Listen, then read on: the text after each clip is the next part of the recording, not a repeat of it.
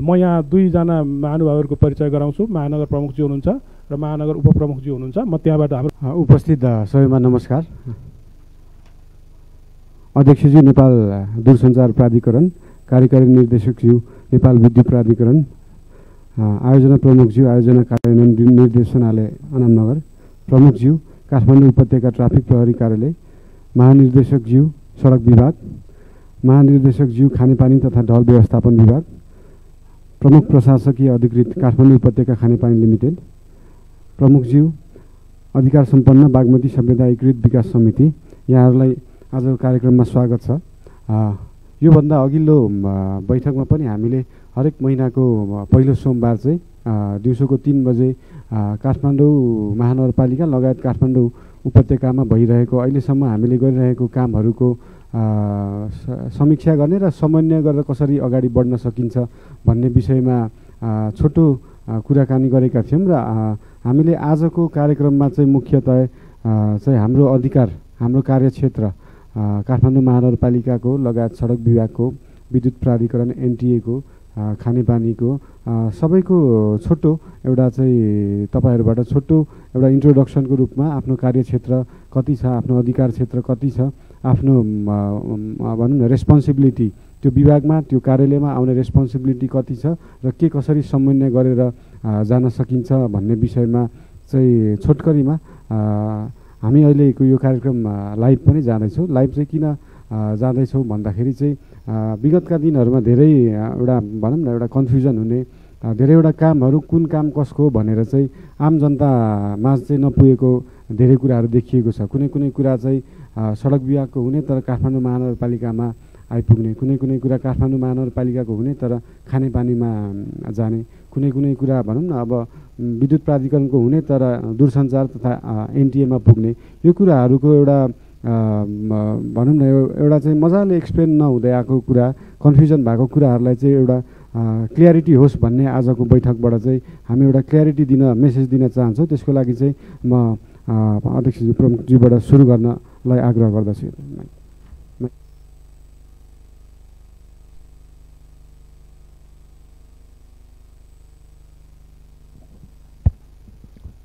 धन्यवाद मेयर साहब। सबैजनालाई एकमुष्ट सम्बोधन गरेँ मैले। नेपाल दूरसञ्चार प्राधिकरण नेपालमा दूरसञ्चार सेवालाई व्यवस्थित भरपर्दो र सबै जनताको पहुँचमा दूरसञ्चार सेवा पुर्याउनलाई दूरसञ्चार ऐन दुई हजार त्रिपन्नद्वारा स्थापित संस्था हो। यसले दूरसञ्चार सेवा सञ्चालन गर्न सेवा प्रदायकहरूलाई अनुमति प्रदान गर्छ। मेन भोइस सेवा प्रदायकहरू प्लस इन्टरनेट सेवा प्रदायकहरू भिसाट सेवा प्रदायकहरू सो मेनी सेवा प्रदायकहरू छ। यो सेटेलाइट फोनदेखि लिएर। र अहिले युटिलिटीमा अहिले जुन किसिमको समस्या देखिया छ अ, मेयर साहब पनि त्यसैमा हुनुपर्छ। अस्तिको मिटिङमा म हुन सकिनँ। म त्यसलाई क्षमा प्रार्थी म बाहिर गएको थिएँ। छु मेरो साथीहरू हुनुहुन्थ्यो। अहिले काठमाडौँ उपत्यकामा तारको जालो जुन चाहिँ सहप्रयोग हुन सक्छ टेक्निकल्ली त्यसको लागि हामीले रेगुलेसन किन कानुनले मात्रै यो गर्न सक्ने कुरा भएर रेगुलेसन बनाएर पूर्वाधारको सहप्रयोग हुनुपर्छ भनेर मन्त्रालयमा करिब दुई वर्ष अगाडिदेखि हामीले फलोअप गरिरहेका छौँ सञ्चार मन्त्रालयमा। र मन्त्रालयमा छलफल पनि हुन्छ भइरहन्छ तर त्यसले गति लिन सकिरहेको छैन। पूर्वाधार नियमावली आयो भने पूर्वाधार सेवा प्रदायक चयन हुन्छ। त्यो पूर्वाधार सेवा प्रदायक बाहेक अरूले इन्फ्रास्ट्रक्चर तान्न पाउँदैन तार तान्न पाउँदैन अनधिकृत रूपमा। त्यो पूर्वाधारको चाहिँ हामी त्यसको रेट हामी फिक्स गर्छौँ। टेक्निकल्ली क्यालकुलेट गरेर कति लिँदा हुन्छ त्यो सेयरिङ बेसिसमा उसले अरूलाई आफ्नो पूर्वाधार पुरा गर्छ। एउटै फाइबर तान्यो भने सबैलाई पुग्छ त्यो। त्यो हिसाबमा काम गरिरहेछौँ। यसै क्रममा हामीले एनइएले काठमाडौँमा डक्टिङ गर्दाखेरि एनइएसँग कोअर्डिनेट गरेर कम्तीमा यो सडकलाई धेरैचोटि खन्नु हुँदैन। खन्दाखेरि यो पब्लिकको विरोध आउनु त्यत्तिकै छ इन्फ्रास्ट्रक्चर कस्ट त्यत्तिकै जान्छ डुप्लिकेसन हुन्छ भनेर चाहिँ कम्तीमा तपाईँहरूको डक्टिङ गर्दाखेरि टेलिकम्युनिकेसन सेक्टरको लागि चाहिने डक्ट पनि राखिदिनुहोस् तपाईँहरूले भनेर उहाँले येल्लो कलरको तिनवटा डक्ट त्यसमा अहिले पनि हामी देख्न सक्छौँ सबै ठाउँमा। त्यो अन्डरग्राउन्ड तारको लागि। यद्यपि हामी हामी बिचमा अलिकति एन एनइए र एनटिए अथवा सरकार बिचमा एउटा किसिमको क्ल्यारिटी भएको छैन यो क्ल्यारिटी छ एनएले पूर्वाधार दूरसञ्चार सेवाको पूर्वाधार कसैले पनि अनधिकृत रूपमा दूरसञ्चार सेवाको पूर्वाधार तान्न पाउँदैन विस्तार गर्नु पाउँदैन लिजमा दिनु पाउँदैन। तर एनइएले लाइसेन्स ल्याएको छैन। अब गभर्मेन्ट इन्टिटी नै हो। किनभने त्यसको रेगुलेट एनए त्यसको रेट एनएले तोक्न पाउँदैन। कानुनअनुसार एनटिएले तोक्नुपर्ने हुन्छ। यो किसिममा हामीले एनइएलाई अनुरोध गरिरहेका छौँ। सायद उहाँहरू आउनुहुन्छ होला। तपाईँहरू पूर्वाधार प्रदायकै लाइसेन्स लिइदिनुहोस्। तपाईँहरू नियममा आउनु होइन तपाईँहरूले छोड्नुहुन्छ भने त्यो पूर्वाधार भने अब प्राइभेट सेक्टर कसैले जसले पनि ओन गर्न सक्छ लाइसेन्सको हिसाबमा आएर भने। यो दिन नसकेका कारण चाहिँ रेगुलेसनको हो। प्लस अनि एनटिएले चाहिँ यो विकास समितिमा गएर एउटा नेपालमा चाहिँ युटिलिटी करिडोरको लागि सेपरेट व्यवस्था हुनु पर्यो भनेर आफ्नो कन्सेप्ट आजभन्दा तिन वर्ष अगाडि बुझाएँ। र सडक बनाउँदाखेरि अथवा सडक मर्मत गर्दाखेरि सडकको छेउमा चाहिँ युटिलिटीको लागि चाहिँ सेपरेट डक राख्ने म्यान्डेटरी व्यवस्था हामीले गऱ्यौँ। र त्यो व्यवस्था गऱ्यौँ भने कहिले पनि सडक खन्नु परेन त्यहाँबाट पूर्वाधार सेयर हुनसक्छ। यो यो हिसाबले हामीले सरकारलाई सजेस्ट पनि गरेका छौँ। र प्लस प्रब्लम के भयो भने मैले सानो एक्सपिरियन्स एउटा सेयर गर्छु म कुनै देशको नाउँ नलिकन त्यो देशमा पनि यस्तो खालको धेरै खालको समस्या भएपछि एउटा डेभलपमेन्ट अथोरिटी गठन गर्यो। बजेट स्याङ्सन गर्दाखेरि चाहिँ उसको एप्रुभल बिना अर्थ मन्त्रालयले बजेट दिनै नसक्ने व्यवस्था गर्यो। हो त्यो बजेट गर्दाखेरि चाहिँ रोडसँग अरू युटिलिटीको सामानहरू ढल पानीहरू अनि टेलिफोन यी सबैको व्यवस्था गरेपछि उसले ओके भनेपछि मात्र रोड बन्ने भयो। यो किसिमको म्यान्डेटोरी व्यवस्था नगर्दासम्म डिस्क्रेसन मलाई मन चाहे लाग्यो। मैले मेरो प्लान अनुसार खने अनि स अर्को खानेपानीलाई मन लाग्यो उसले खन्यो किनभने हाम्रा बजेटहरू सेपरेट सेपरेट छन् प्रोग्राम सेपरेट सेपरेट छ टेन्डर गर्ने मेकानिजम सेपरेट छ अनि टेन्डर गर्दा सेलेक्टर ठेकदारहरू बेग्ला बेग्लै सेलेक्ट हुन्छ। एक हामीले जति नै समन्वयात्मक रूपले भने पनि काम हुन सक्दैन रहेछ। मेरो सबलाई सानो एउटा इक्जाम्पल म एक मिनट आँसिँदै हजुर। चियो भन्ज्याङमा हामीले यो मिड हिल हाइवेलाई बेस गरेर चाहिँ अप्टिकल फाइबरको ब्याकबोन बनाउन लागिरहेका छौँ सडकको ठेक्का भइसकेको रहेछ। सडकको ठेकेदारले के भन्नुहुन्छ भने हामी टेलिकम्युनिकेसन ठेकेदार पनि गयो दुइटैको ठेगा त्यहाँ डक्ट गर्नुपर्ने हो पख मैले मेरो बनाएको ड्रेनमा मैले बनाएको सडकमा यो मैले बनाउँदैछु बनाएर ह्यान्डओभर गरिसकेपछि मात्र तिमी खन। किनभने सेयर हुनसक्ने हाम्रो मेकानिजमै रहन्छ उसले बनाउँदा बनाउँदै दियो भने त उसको ह्यान्डओभर भएन। उसको उसले उसले भुक्तानी नपाउने भयो उसले रोकेर राख्दो रहेछ उसको आफ्नो कन्स्ट्रक्सन साइट भन्नाले बनाइसकेका ठाउँ बनाएपछि तिमी भत्काउ अनि फेरि बनाऊ। यो त डुप्लिकेसन अफ कस्ट भइरहेछ। यो समन्वय लले मात्र गर्न सक्छ।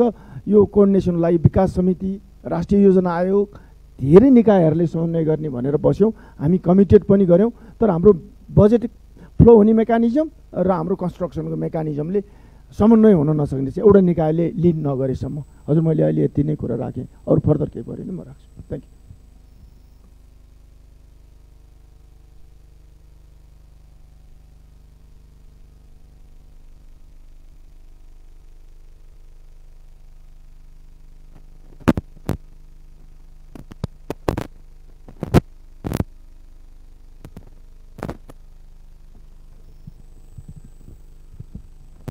सर्व सर्व सबैलाई नमस्कार छ। श्रीमान मेयरज्यू उपमेयरज्यू सबैलाई मैले सम्बोधन गरिनँ। म सडक विभागबाट म चाहिँ डाक्टर विजय जैसी त्यहाँको सङ्घीय सडक सुपरभिजन अनुमान कार्यालयबाट आएँ र महानिर्देशज्यूकै प्रतिनिधित्व गर्छु मैले। अब मेयर साहेबलाई मैले अस्ति पनि अलिकति एक्सप्लेन गरेँ यो कार्यक्षेत्रहरूको बारेमा। अब हाम्रो के भयो भने यो सबैलाई हामीलाई थाहै छ सडक बनाउने निकायहरूमा सडक विभाग नै पहिलादेखि ऐतिहासिक पृष्ठभूमि यसको रहिआएको थियो।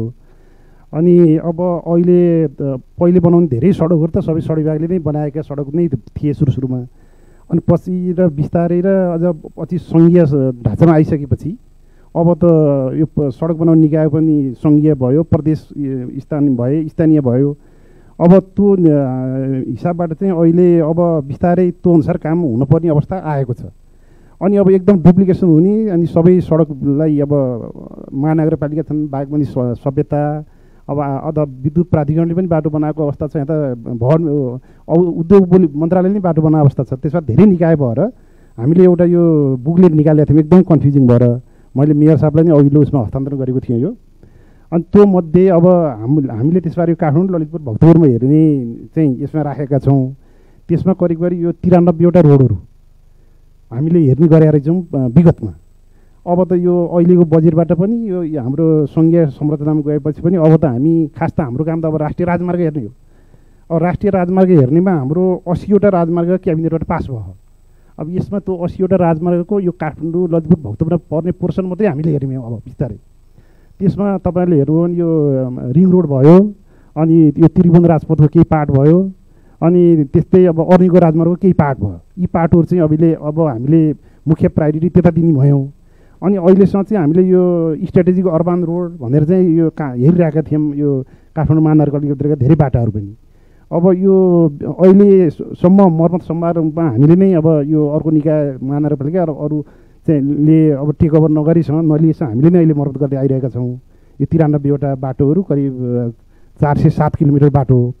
अनि यति यति भने मैले हाम्रो स्कोपको बारेमा चाहिँ अनि हाम्रो अहिले समस्या चाहिँ अब रोडमै हुन्छ नि सबै कामहरू। हाम्रो खाली भनेकै रोड छ। अनि खानेपानीले पनि रोडबाटै लानु पऱ्यो अनि विद्युतले पनि रोडबाटै लानु पऱ्यो अनि हामी बल्ल बल्ल अनि हाम्रो कोअर्डिनेसनको अभाव त भइ नै हाल्यो। त्यो भएर त यो बैठक एकदम इम्पोर्टेन्ट साबित भइरहेछ अब हामी आफ्नो हिसाबले ठेक्का लाउने अनि अरू पिआइडी आफ्नो हिसाबले अब विभिन्न छन् हाम्रो अब बजेटिङका कुराहरू छन्। बजेट भएपछि ठेक्का लाउने भयो। कति वैदेशिक एडबाट आएका छन् वैदेशिक एड कहिले आउँछ भने थाहा छैन। विभिन्न कारणले गर्दाखेरि यो हामीलाई समन्वय गर्न पनि गाह्रो छ अझै पनि गाह्रो छ यो। अनि त्यो हिसाबले अनि हामीलाई कतिसम्म त भन्दा हाम्रै सडक हामीले एकपल्ट एनइएले एक ठाउँ पोल राख्छ हामीले भोलि हाम्रो राइट अफ वेमै हामीले वाइडनिङ गर्नुपर्छ फेरि त्यो पा पोल सार्न हामीले फेरि फेरि एनइएमै एनइएमा गएर फेरि हामीले इस्टिमेट अनुसार पैसा तिर्ने फेरि अझै पनि समयमै नहुने त्यो समस्या अनि पिआइडीको मिलान्चीका पाइपहरूले गर्दाखेरि हाम्रो अहिले धेरै सडकहरू लिकेज छन् जस्तै बिस्तारै बिस्तारै गरिरहेका सडकहरूमा तपाईँले जहाँ जहाँ यो लिकेज मेन मेन अब्स्ट्रक्सन छ त्यो धेरै चाहिँ लिकेजले गर्दा छन् अब राँडा शासन राँडा पालादेखिका पाइपहरू छन् त्यो भित्री फेरि प्रणाली पनि छैन नि हाम्रो भित्र हेर्न सक्ने। अब खनेसी देखिन्छ बल्ल। फेरि एउटा खन्छ भनेर ठेका लाउँछ के के देखिन्छ के के भित्रभित्र हुँदा यो एकदम कम्प्लिकेटेड छ। अनि अझै अलिकति धेरै पुष्टि गरेर चाहिँ म हाम्रो डिभिजन प्रमुखज्यू उहाँलाई धेरै अनुभव छ यो डे टु डे समस्या। एकछिन उहाँलाई मैले माइक दिएँ।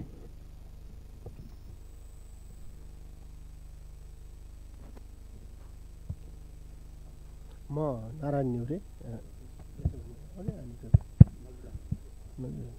म नारायण न्युरे डिभिजन प्रमुख sub division Kathmandu. Shri mayor साहब उपमेयरज्यू लगायत सम्पूर्ण सरहरूमा मेरो नमस्कार। अब समग्रमा त सबै कुराहरू चाहिँ हाम्रो सो हिसाबले राखिहाल्नुभयो। अहिले प्रत्यक्ष रूपमा भनौँ न सडक डिभिजनबाट काठमाडौँमा काम गर्दाखेरि भएका कुराहरूमा थोरै म बोल्न चाहेँ। अघि सरले भने जस्तै हाम्रा स्कोपमा भएका करिब चार सय किलोमिटर बाटो भनौँ न विगतदेखि हेरिराखेको अवस्थामा। अहिले चाहिँ परिमार्जन गऱ्यो भने कम केही घट्छ होला सायद चाहिँ अहिले संहिताले गर्दा केही ट्रान्सफर गर्नुपर्ने अथवा बजेटिङको कारणले पनि अहिले केही अहिलेको बजेटमा नि केही सडकहरू तल गएको जस्तो चाहिँ देखिन्छ। अहिले हामीले चाहिँ के गर्छौँ भने विशेष गरी चाहिँ सडक विभागले गर्ने चाहिँ मर्मत सम्मारको चाहिँ डिभिजनबाट मर्मत सम्मार हुने कामहरूमा विशेष गरी चाहिँ सडक विभागको एउटा प्लान मेन्टेनेन्स गाइडलाइन छ। त्यो भनेको रुटिन मेन्टेनेन्स अनि रिकर्डेड मेन्टेनेन्स इमर्जेन्सी मेन्टेनेन्स कामहरू हामी चाहिँ सडक डिभिजनबाट गर्छौँ। त्यसमा चाहिँ रुटिन भनेको हामीले रेगुलर रूपमा चाहिँ सडक सरसफाइ नालीहरू क्याचपिटहरू सफा गर्ने रिकर्डेडमा चाहिँ विभिन्न पटोलहरू फेरि बनाउनको लागि पटोल प्याचहरू गर्ने र त्यो बाहेकको अरू पिरियोडिक इमर्जेन्सी मेन्टेनेन्सको बारेमा त अलिकति मैले यहाँ भनिरहनु परेन। इमर्जेन्सी केसहरू काठमाडौँको हकमा मैले हेर्दाखेरि कस्तो आउँदो रहेछ भने बेला बेलामा सिङ्कहरू डेभलप हुन्छ। किनभने यहाँ राणाकालीन पाइपहरू छ ढलहरू पनि राणाकालीन छ र भित्र पचास साठी वर्षको ढलहरूमा कहिलेकाहीँ के हुन्छ भने ब्रिक मेसनीको चाहिँ मङ्गालहरू छ। ती मङ्गलहरूमा चाहिँ स्टो मोटरको फ्लोले गर्दा धेरै मनसुन भएको बेलामा प्रेसर फ्लोले गर्दाखेरि ती चाहिँ पटक पटक चाहिँ त्यो फ्लो वाटर जेटले हान्दाखेरि चाहिँ त्यो कुल्याप्स हुँदो रहेछ। कुल्याप्स भएपछि भित्र मङ्गालको चाहिँ यत्रो कोठाहरू खोल्दो रहेछ। खोलिसकेपछि के हुन्छ त्यहाँ त ओभरले गर्दा गर्दा धेरै वर्षसम्म चाहिँ यी बिम एक्सन जस्तो चाहिँ अस्पाल्ट बसिएको छ। झ्याप्पै केही हुँदैन। तर धेरै गाडी कुद्दै कुद्दै जाँदा त्यो झ्याप्पै कुल्याप्स हुने। त्यस्ता अनुभव चाहिँ हामीलाई चाहिँ अहिले चाहिँ महिनैमा चाहिँ पाँच सातवटा पाँचवटा हाम्रै सडकमा नै परिरहेको बेला बेला महानगरको क्षेत्रभित्र पनि परिरहेको अवस्था छ। तिनीहरूलाई तत्कालै इमर्जेन्सी रेस्पोन्स गर्नुपर्ने अनि ढल व्यवस्थापन विभागसँग समन्वय गरेर त्यो ढललाई मेन्टेनेन्स गर्नुपर्ने त्यस पछाडि बल्ल सडक चाहिँ पुनर्स्थापना गर्ने खालको चाहिँ इमर्जेन्सी बर्खामा त्यो आउँछ। अरू सामान्य रूपमा हेर्दाखेरि अघि समस्या सरले भनिहाल्नुभयो। समन्वय हुँदा हुँदै पनि कस्तो संरचना छ भने काठमाडौँमा? काहीँ कतै कसैको चाहिँ अब डिजिटाइज छैन होइन? लाइन डायग्राम नि छैन। त्यो हुनाले पिआइडीदेखि लिएर यानि विद्युतदेखि लिएर टेलिकमदेखि लिएर सडकसम्मको संरचनाहरूको चाहिँ समन्वय गर्दा गर्दै पनि भित्र थाहा नभएका चिजहरू जुन चाहिँ यो चाहिँ अब पुरानो सहर पऱ्यो भित्र इन्फ्रास्ट्रक्चर धेरै चाहिँ धेरै पुराना छन्। जस्तो लिकेजहरू आज मर्मत गर्नुहुन्छ केमिकलले पनि बिचरा भोलिपल्ट लिकेज फेरि के हुन्छ भन्दा त्यो राणाकालीन लिकेजमा त्यो टाँसिँदो रहेछ होइन? झ्याप्पै गइहाल्छ। तपाईँले देखिरहनु होला त्यहाँ खनिरहेको छौँ जमलको चाहिँ निर्वाचन आए अगाडि ढलै पुरै जाम भएर स्टमटर पुरै पोर्ने व्यवस्थित गर्ने कसरी एङ्गलमा माथि होल ग्रुपमै बसेर यसरी गर्ने भन्ने किसिमको कोर्डिनेसन चाहिँ भएको छैन तर हामी काम सुरु गर्नु पर्दाखेरि उहाँहरूको चाहिँ उहाँहरूसँग समन्वय नगरिकन हामीले यो काम गर्न सम्भव पनि हुँदैन र हामीले यो चाहिँ गरिराखेकै छौँ। र चाहिँ यस्तै यही अन्डरग्राउन्डको लागि चाहिँ अझ अलिकति यसले व्यवस्थित गर्नुपर्छ भनेर त्यति बेला चाहिँ अहिले पनि छ त्यो कमिटी। हाम्रो चाहिँ ऊर्जा मन्त्रालयमा ऊर्जा सचिवज्यूको चाहिँ संयोजकमा विभिन्न निकायहरूको चाहिँ त्यहाँ सचिवज्यूहरू सहसचिवज्यूहरू बसेको चाहिँ एउटा कमिटी छ। त्यो कमिटीबाट पनि समन्वय भइराखेकै छ। भन्दाखेरि अन्डरग्राउन्डमा अलिकति अहिले हामीलाई आएर पछिल्लो समयमा हामी जहाँ जहाँ चाहिँ हामी नगरपालिकाको सडकहरू छ त्यहाँ हामीले सहजै रूपमा चाहिँ अनुमतिहरू चाहिँ प्राप्त गर्ने गरेका छौँ र काम पनि अलि चाहिँ सहज हुँदै गएको छ। र त्यस त्यस त्यसो हुँदाखेरि के देखिन्छ भने भित्रभित्र चाहिँ अन्डरग्राउन्ड भइसक्यो। जुन क्षेत्रमा चाहिँ बाहिर हुनुपर्ने थियो मेन रोडहरूमा चाहिँ हामीले अन्डरग्राउन्ड गर्न सकिरहेको छैन। भन्दाखेरि अलिकति हामीलाई पर्मिसनहरू पाउन अलिकति गाह्रो भइराखेको छ र यस यस सम्बन्धमा हाम्रो सडक विभागसँग बेला बेलामा छलफल पनि भएको छ। विभिन्न चाहिँ के भन्छ त्यो चाहिँ विभिन्न हामीले यो नवलपरासीतिरको पनि हामीले चाहिँ अलमोस्ट सल्भ गऱ्यौँ होइन। पोखरा मुलिङको पनि हामी चाहिँ छिटै नै अब चाहिँ यो समाधान गर्दैछौँ भन्दाखेरि अहिले अलिकति काम गर्ने मोडालिटी नै चेन्ज भएको हुनाले अब यो सडकसँग त्यति समन्वय मतलब चाहिँ त्यति समस्या छ जस्तो मलाई लाग्दैन। यद्यपि हामीसँग चाहिँ पुराना हामीले जिम्मा लिएको कामहरू छ त्यो हामी चाहिँ छिटोभन्दा छिटो गर्छौँ। र अर्को अब यो चाहिँ अलिकति जुन अब यो काठमाडौँ सहरलाई अब यो सुन्दर बनाउने भन्ने कुरामा जुन तारको गुजेल्टोको कुरा यहाँ हाम्रो चाहिँ एनटिएको अध्यक्षज्यूले पनि कुरा गर्नुभयो। यो चाहिँ अलिकति बिग्रालै छ यो समस्या चाहिँ। अब यो यसो हेर्दाखेरि प्राधिकरणको हुने भनेको एउटा पोलमा म्याक्सिमम् प्राधिकरणको हुने भनेको स्टेक होल्डर छन्। यहाँ उपस्थित आदरणीय सरहरू सबै हाम्रा स्टेक होल्डर हुनुहुन्छ। उहाँहरूको काममा केही अप्ठ्यारो पऱ्यो भने ट्राफिकमा अप्ठ्यारो हुन्छ। कसैले ढल खनिदियो कसैले तार ज तल माथि चुडिएको तार पनि ठिक गरिदिएन। अँ, कसैले ल्याएर बाटोमा डम्प गरिदियो हिम पाइप हालिदियो तर हिम पाइपको प्रयोग गरेन भने यति धेरै ठाउँमा समस्या हुन्छ। अझ एउटा नयाँ समस्या काठमाडौँमा देखेको वाटर लगिङको समस्या छ। मेयर साहब आफै एउटा टेक्निसियन टेक्निकल ऊ भएको मान्छे हुनाले अब यो हामीलाई धेरै सजिलो हुन्छ। महाराजगञ्ज त हामी सबैले मिलेर गर्ने कामहरू छ सँगसँगै गर्ने कामहरू छ। र अझै यो पहिलोपटक हो मैले यसरी पार्टिसिपेट गर्न पाएको यसरी यो एकदमै राम्रो सुरुवात ट्राफिकको लागि त। खासै गुनासो गर्नुभन्दा पनि हामीसँग जे जे स्रोत साधन छ त्यसको मा म्याक्सिमम् युज गरेर काम गर्ने हो। संसारमा सबैभन्दा सहिलो कामै गुनासो गर्ने हो जस्तो लाग्छ। मेरो बुवाले मलाई राम्रो स्कुलमा पढाएन भन्ने गुनासो हुनसक्छ तर बुवाको आर्थिक अवस्था त्यो बेलाको भिजन त्यो कुराले असर गर्छ। हामी सबैले गर्न सक्ने ठाउँ आफआफ्नो चिज ऊबाट गरिरह्यौँ भने र थोरै थोरै चिजबाट लिटिल थिङ्स वी डु भन्छन्। सानो सानो सुरुवातबाट गरेका कामहरूले ठुलो असर गर्छ। एउटा सानो उदाहरण दिन्छु। यो अ, ट्युबबाट कृतिपुरबाट अपाङ्ग। अहिले अपाङ्ग नि भन्नु मिलेन फरक क्षमता भएका। ती मान्छे थुप्रो आउँछन् यसमा आरआरमा ल क्याम्पसमा। उहाँहरूलाई बसमा उसमा आरएनसी बिल्डिङ अगाडि झारिदियो। त्यहाँबाट फेरि हिँड्दाखेरि रत्नबार एक राउन्ड लाउँदाखेरि त्यो शरीरको त्यो अवस्था भएको मान्छेलाई धेरै गाह्रो हुने। ती फरक क्षमता भएकोलाई राष्ट्रिय सभागृहको छेउमा एउटा सानो बोर्ड छ। यहाँहरूले जाँदै देख्नुहुन्छ फरक क्षमता भएका व्यक्तिलाई मात्रै चढाउने र ओर्लिने भन्ने एउटा बोर्ड राखिदिएपछि नेपालका लगभग सबैले फेसबुक भरियो होइन यस्तो सानो चिजहरू हामीले गरेपछि तिनीहरूलाई मात्रै भयो। त्यो त्यसलाई त्यहाँ झारिदिएपछि त्यो चढ्न पाएन अरूलाई चढाउने पनि होइन ओह्राल्ने पनि होइन। तर ती मान्छे बसमा छन् भने त्यहाँ झार्न पाइन्छ। त्यस्तो साना साना चिजहरू अहिले लाइटहरू पनि ठाउँ ठाउँमा राखेको छ। अब हाम्रो देशमा अझै पनि मान्छेलाई अलिकति भनौँ न अलिकति चर्को स्वरमा बोल्न पायो न्यु खोज्न पायो भने अलिकति त्यही नै स्मार्ट हो कि भन्ने छ। काम यत्तिकै सुनिने स्वर पनि अलिक ठुलै एकचोटि हेर्नुपर्छ कि जस्तो लाग्छ। आजलाई यति छ। धन्यवाद। धन्यवाद। नमस्ते। काठमाडौँ महानगरपालिकाका मेयरज्यू उपमेयरज्यू प्रमुख प्रशासकीय अधिकृत र विभिन्न निकायका प्रमुखज्यूहरू एवं सहकर्मी साथीहरू। र आज यो दोस्रो बैठक भइरहँदाखेरि मलाई चाहिँ साह्रै खुसी लागेको छ। किन भन्दाखेरि यो हाम्रो काठमाडौँ उपत्यका खानेपानी लिमिटेड काठमाडौँ महानगरपालिकाकै कम्पनी हो। किन भन्दाखेरि यसमा चौबिस प्रतिशत सेयर काठमाडौँ महानगरपालिकाकै छ र यहाँ महानगरपालिकाबाट दुईजना प्रतिनिधिहरू हाम्रो सञ्चालक समितिमा आउनुहुन्छ जसले कि कम्पनीको नीति नियमहरू बनाउँछ। र आजसम्म हामीले महानगरपालिकाले खानेपानीको सेक्टरमा पनि प्रयासहरू गर्न लागेको हामीले धेरै थाहा पाएका छौँ। जस्तो कि ढुङ्गेधारामा पानी पुर्याउने भनेर एउटा कतिौँ वर्षदेखि चाहिँ सुक्खा भएका ढुङ्गेधारामा पानी पुर्याउने प्रयास सुरु भएको हामीले पाइरहेका छौँ। त्यसमा हामी केयुकेल पनि सहयात्री बन्न तयार छौँ। त्यस्तै गरेर अब यो केयुकेलको मुख्य काम भनेको उपलब्ध पानीलाई हामीले छौँ। कतै चुहा हामीले दिनलाई यसले धेरै नै सघाइरहेको छ। काठमाडौँ महानगरपालिकाले पनि अहिले चाहिँ अब त्यस्तै एम्बुलेन्सहरू सञ्चालन गर्ने कुराहरू ल्याउनु भएको छ। अस्ति नै मात्र पनि महानगरपालिकासम्म सहकार्य गरेर हामीले टेकुदेखि त्रिपुरेश्वरसम्म भएका खाल्डा कुल्डीहरू पुर्ने काम हामीले गरेका छौँ। ठाउँ ठाउँमा ढल प्रदूषण भयो बाहिर चाहिँ ढल जाम भएर चाहिँ समस्या भयो वीर हस्पिटलमा समस्या भयो भनेपछि हामीले त्यहाँ त्यहाँ पनि सहकार्य गरेर त्यसलाई समाधान गरेका छौँ। र पानी नआउने क्षेत्रहरू धेरै छन् ती ठाउँहरूमा पनि हामीले एउटा ऱ्यापिड रेस्पोन्स टिम भनेर हामीले बनाएका छौँ हरेक शाखाबाट। र ती ऱ्या ऱ्यापिड रेस्पोन्स टिमले त्यहाँ भिजिट गरेर के गर्नुपर्ने हो? चुहावट भएर ढलभित्रै पानी पसिरहेछ कि? अहिले साथीहरूले पनि भन्नुभयो हाम्रा पुरानो पाइपलाइन भएको कारणले चुहावट भएर ढलभित्र गइरहेको पनि समस्या छ। त्यसलाई पनि लोकेट गरेर हामीले मर्मत गरेर गरिरहेको छौँ। कति ठाउँमा ब्लकेज भएको अवस्था रहन्छ। त्यसलाई पनि खोलेर हामीले पानी सञ्चालन गर्ने प्रयासहरू हामीले गरेर सफलता पनि प्राप्त भएको छ। र हामी काठमाडौँ महानगरपालिकासँग हरेक कुरामा सहकार्य गरिरहेका छौँ। जस्तो कि नयाँ धारा दिनु पर्दाखेरि वडा कार्यालयहरूको सिफारिस लिन्छौँ। नयाँ धारा दिनु पर्दाखेरि काठमाडौँ महानगरपालिकाबाट जारी भएको नक्सा पास प्रमाणपत्रको आधारमा हामी दिन्छौँ। र यसलाई अझ चाहिँ डिजिटाइजेसन जुन का महानगरपालिकाले गरेको छ घर नम्बरहरू दिइएको छ। त्यसलाई अलिकति हाम्रो केविकेलसँग टाइअप गर्न पायो भने एकदम व्यवस्थित किसिमको डाटाहरू बन्न सक्छ। त्यो डाटाहरू दुवैको लागि उपयुक्त हुन्छ। केविकेलको लागि पनि उपयुक्त हुन्छ काठमाडौँ महानगरपालिकाको पनि उपयुक्त हुन्छ। हाम्रो नेपाल सरकारको अहिलेको नीतिअनुसार एक घर एक धारा भन्ने किसिमले हामी गइरहेका छौँ। र काठमाडौँ महानगरपालिकाभित्रका सबै घरमा हामी धारा दिन चाहन्छौँ। र सेवाबाट हामी सबैलाई चाहिँ पहुँच पुर्याउनु पनि हामी चाहन्छौँ। र वडा कार्यालयहरूसँग हामी सहकार्य गरेर कतै मर्मत गर्नु पर्दाखेरि पनि उहाँहरूकै सहयोगमा गर्छौँ। अहिले सरहरूले पनि भन्नुभयो यसपालि हामीले धेरै सहयोग सडक विभागबाट पनि पाएका छौँ। वडा कार्यालयहरू पनि सहयोग गरेको छ। वडा कार्यालय भनेको कस्तो रहेछ भन्दाखेरि सबभन्दा पहिला गुनासो सुन्ने सेन्टर पोइन्ट भएको हामीले देखेका छौँ। पानी आएन पानी प्रदूषण भयो। केही पनि हुँदाखेरि वडा कार्यालयमा पहिला सबै जानेर त्यो मार्फत पनि हामीलाई खबरहरू आउने गरिरहेका छन् र हामीले मर्मतको कामहरू पनि उहाँहरूसँगै समन्वय गरेर गर्ने गरेका छौँ। यसले गर्दाखेरि वडा कार्यालयले पनि सजिलो भयो उपभोक्तालाई पनि सजिलो हो र हामी केविकेलाई त झन् अझ सजिलो हो।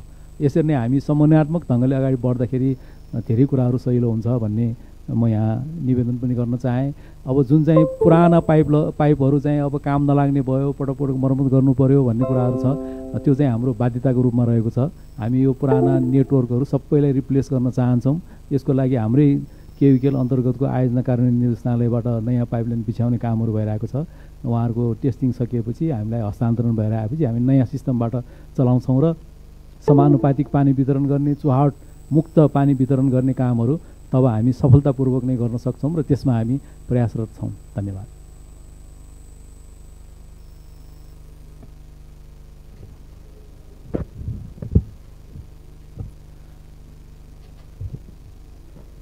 श्रीमान मेयर साहब उपमेयर साहब कार्यकारी प्रमुखज्यू र सम्पूर्ण सरहरू। म चाहिँ यो आयोजना कार्यान्वयन निर्देशनालय पिआइडी भन्छ त्यो चाहिँ मेलम्चीको कम्पोनेन्ट टू भन्छ।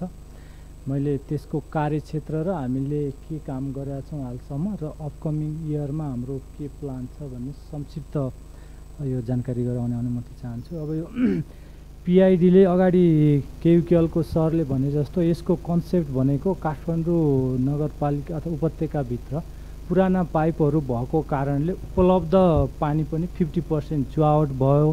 त्यसले गर्दा सोर्स थप्नु मात्रै सल्युसन होइन। यसलाई चाहिँ पाइपको क्वालिटी नै परिवर्तन गर्नुपर्छ भन्ने कन्सेप्टको आधारमा र काठमाडौँ उपत्यकामा मेलम्चीको पानी एकाउन्न करोड लिटर पानी भइसके पछाडि करिब त्यसको अस्सी पर्सेन्ट जति पानी चाहिँ वेस्ट वाटरको रूपमा जेनेरेट हुन्छ त्यो पानी ट्रिटमेन्ट नगरिकन खोलामा फाल्यो भने फेरि पनि रिभरको कन्डिसन राम्रो हुन हुँदैन भन्ने आधारमा हामीसँग दुईवटा कम्पोनेन्ट छ। म पहिला चाहिँ यो खानेपानीतर्फको कम्पोनेन्टको केही जानकारी गराउन चाहन्छु। यो खानेपानी अन्तर्गत चाहिँ मेलम्चीले सुन्दरी जलसम्म पानी ल्याइसके पछाडि हामीले त्यहाँबाट दुईवटा बिडिएस लाइनबाट काठमाडौँमा एकाउन्न करोड लिटरको पानी ट्रान्सफर गर्छौँ। त्यो मध्ये अहिलेसम्म सुन्दरी जलदेखि चाबैलसम्म चौध सय एमएमको पाइप हालिसकेको छौँ। त्यो त्यसबाट बाइस करोड लिटर पानी काठमाडौँमा ल्याउन सकिन्छ र यो वर्ष हामीले योभन्दा पहिला एक महिना ल्याएर सक्सेसफुल्ली टेस्टिङ कमिसनिङ गरेर सप्लाई गरिसकेका छौँ। त्यसमा हाम्रो खासै समस्या छैन। सतहत्तर किलोमिटरको बिडिएस लाइन छ र रिङ रोड वरिपरिको विभिन्न स्थानमा चौरात्तर हजार घनमिटरको ट्याङ्कीहरू छ। तिनीहरू टेस्टिङ कमिसनिङ भएर सक्सेसफुल्ली अहिले अपरेट गर्न सक्ने अवस्थामा छ। र त्यो पानी आइसके पछाडि काठमाडौँको विभिन्न वडाहरू र घर घरसम्म लग्नको लागि एक हजार दस किलोमिटर पाइप लेङ हामीले काठमाडौँको धेरै रिङ रोडभित्रका सबै स्थानहरूमा भनौँ। केही स्थानहरूमा हाम्रो चाहिँ यो अहिले पनि अनगोइङ छ कलङ्की धुम्बाराई र यो कपन एरियामा चाहिँ हामीले ले गर्दैछौँ। अरू एरियामा चाहिँ हामीले ले गरिसकेर टेस्टिङको प्रक्रियामा छौँ हामी। त्यो टेस्टिङमध्ये पनि करिब चार सय पचास किलोमिटर चाहिँ टेस्ट भइसकेको छ।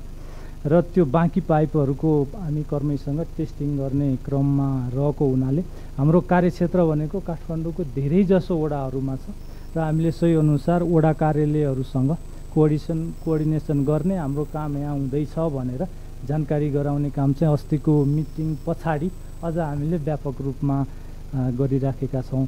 त्यो भयो र त्यसमा हामीले यो पटक पटक रोड खन्नुपर्ने एउटा सर्टेन एरियाहरूमा कस्तो छ भने जहाँनिर चाहिँ घरहरू बनिसकेको छैन घरेरी खाली छ।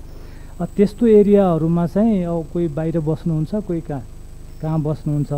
त्यो कन्ट्र्याक्ट चाहिँ सुरुमा जुन बेला कन्ट्र्याक्टर त्यहाँ पुग्यो त्यो बेला चाहिँ धारा जोड्न नआउने तर अब एकपटक काम गरिसकेपछि लोकल प्रेसर हुन्छ गर्नु पनि पऱ्यो रिइन्स्टेटमेन्ट गरेपछि फेरि आउने गर्दा त्यो एरियामा चाहिँ अलिकति पटक पटक खन्नुपर्ने अवस्था आइरहेको छ तैपनि हामीले त्यसलाई कोअर्डिनेसन गरिराखेकै छौँ।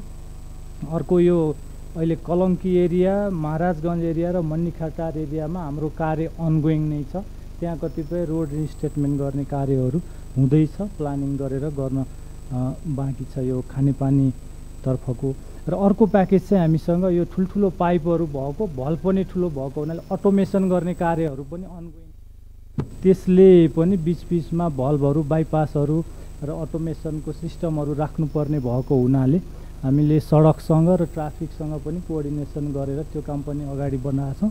त्यो पनि एक वर्षभित्रै सकिन्छ। त्यो भयो भने पानीको चुहावट लिकेज लिकेज उ गर्न र सप्लाई गर्न चाहिँ धेरै सजिलो हुन्छ।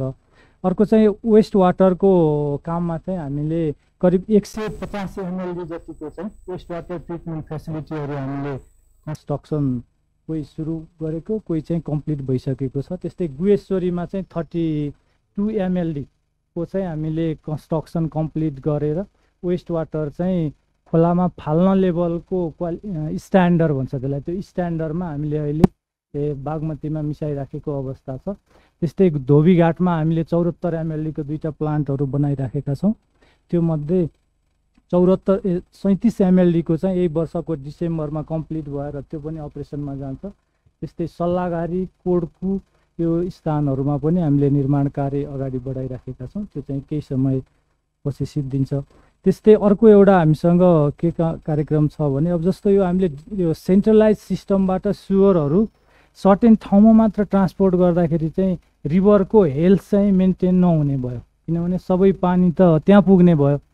घरको वेस्ट पनि र रेन वाटर पनि। त्यसले गर्दा डिवार्सको कामहरू त्यसलाई भनेको सानसानो युनिटहरू अब रुरल एरियाको बस्तीहरूमा बनाएर जस्तो हामीले अहिले त्यो चाहिँ यो कोर एरिया भन्दा केही बाहिर गोकर्णेश्वर नगरपालिकामा चाहिँ हामीले एउटा सुरु गरेका छौँ र हामीले फर्दर स्टडी गरेर काठमाडौँ यो काठमाडौँ बागमती र उसमा होइन विष्णुमतीमा विभिन्न अठाइसवटा बनाउन सक्ने सम्भाव्य देखिया हुनाले हामी पछि त्यो महानगर र अरू नगरपालिकाहरू पनि छलफल गरेर अगाडि बढ्ने सोच बनाएको छौँ।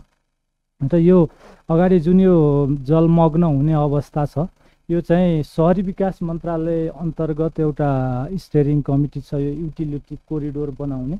त्यो त्यहाँबाट चाहिँ मन्त्रीज्यूकै निर्देशनमा यो अहिले के भन्छ त्यो न्यु प्लाजादेखि सिंहदरबार अगाडि अनि जुन त्यो हाम्रो स्वास्थ्य मन्त्रालय अगाडि आर्मीको अगाडि हुँदै त्यो बागमतीको इन्टरसेप्टरसम्म जोड्ने कामको यो पिआइडीबाट डिजाइन गरिदिनु पऱ्यो इम्प्लिमेन्ट गरिदिनु पऱ्यो भनेर हामीले यो वर्ष पैसा राखेका छौँ। डिजाइन चाहिँ अब अन्तिम अन्तिम चरणमा छ। त्यसको मिटिङ चाहिँ प्रधानमन्त्री कार्यालयमा र सहरी विकासमा हुने गरेको छ। त्यो सकिएपछि हामी सबै निकायसँग समन्वय गर्छौँ।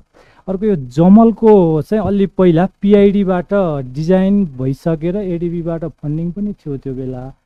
विविध कारणले चाहिँ इम्प्लिमेन्टेसन हुन नसकेको रहेछ जुन अहिले सडकको सरोले गर्दै हुनुहुन्छ। त्यसको डिजाइन चाहिँ रेडी रहेछ। नगरपालिकासँग कोअर्डिनेसन पनि भएको रहेछ त्यो बेलामा। तर के कारणले हो अब समस्या चाहिँ एक्ज्याक्टली थाहा भएन। तर त्यो अगाडि बढ्न नसकेका हुनाले त्यो पनि केही उ गर्न सकियो भने अथवा नगर महानगर आफैले इम्प्लिमेन्ट गर्ने भए पनि हामीसँग चाहिँ त्यसको डिजाइन तयारी रहेको म जानकारी गराउन चाहन्छु मेरो सबलाई। र अब यो हाम्रो अन्तमा चाहिँ अब यो खानेपानीको चाहिँ धेरै जसो ठाउँहरूमा कि त नयाँ जडान गर्नुपर्ने कि चाहिँ मेन्टेनका लागि गर्नुपर्ने भएको हुनाले अझै एक वर्ष जति चाहिँ कहीँ न कहीँ त्यो उ गर्नु रोड खन्नुपर्ने स्थिति आइरहने हुनाले हामीले कोअर्डिनेसन गरिरहेछौँ सडकसँग पनि यानिएसँग पनि त्यो भएको हुनाले अझ लोकल स्तरमा पनि वडाहरूसँग पनि र अब अहिले अहिले चाहिँ हामीलाई फेस भएको प्रब्लम मेयर साहब यहाँ भए बेला चाहिँ अब हामीले पाइपहरू ले गर्न बाँकी छ वडाको पनि प्लान हुने। तर अब हामी उहाँहरूले ले गरिसकेपछि हामीले फेरि खन्नै पर्ने फेरि रियालिटी त्यो पनि छ। र त्यो त रियल हुने नै भयो हामीले अहिले कोअर्डिनेसन गर्दैछौँ कतिपय ठाउँमा। अब अलिकति गाह्रो भइरहेछ। अब उहाँहरूले सबै रोडै लिइदिनुहोस् भन्नुहुन्छ त्यो पनि उहाँहरूको हिसाबले जाएको छ। किनभने उहाँहरूले गर्ने हो खन्ने हो।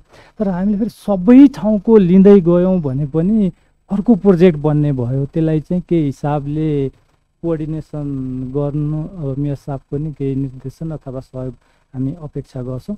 र अरू चाहिँ हामी नगरपालिकाको प्लान अन्तर्गतै भित्र नै काम गरेर हुनाले हामी जानकारी गर्ने कोअर्डिनेसन गर्ने र सहयोग लिएर अगाडि बढ्ने अपेक्षा राख्छौँ। हस् धन्यवाद।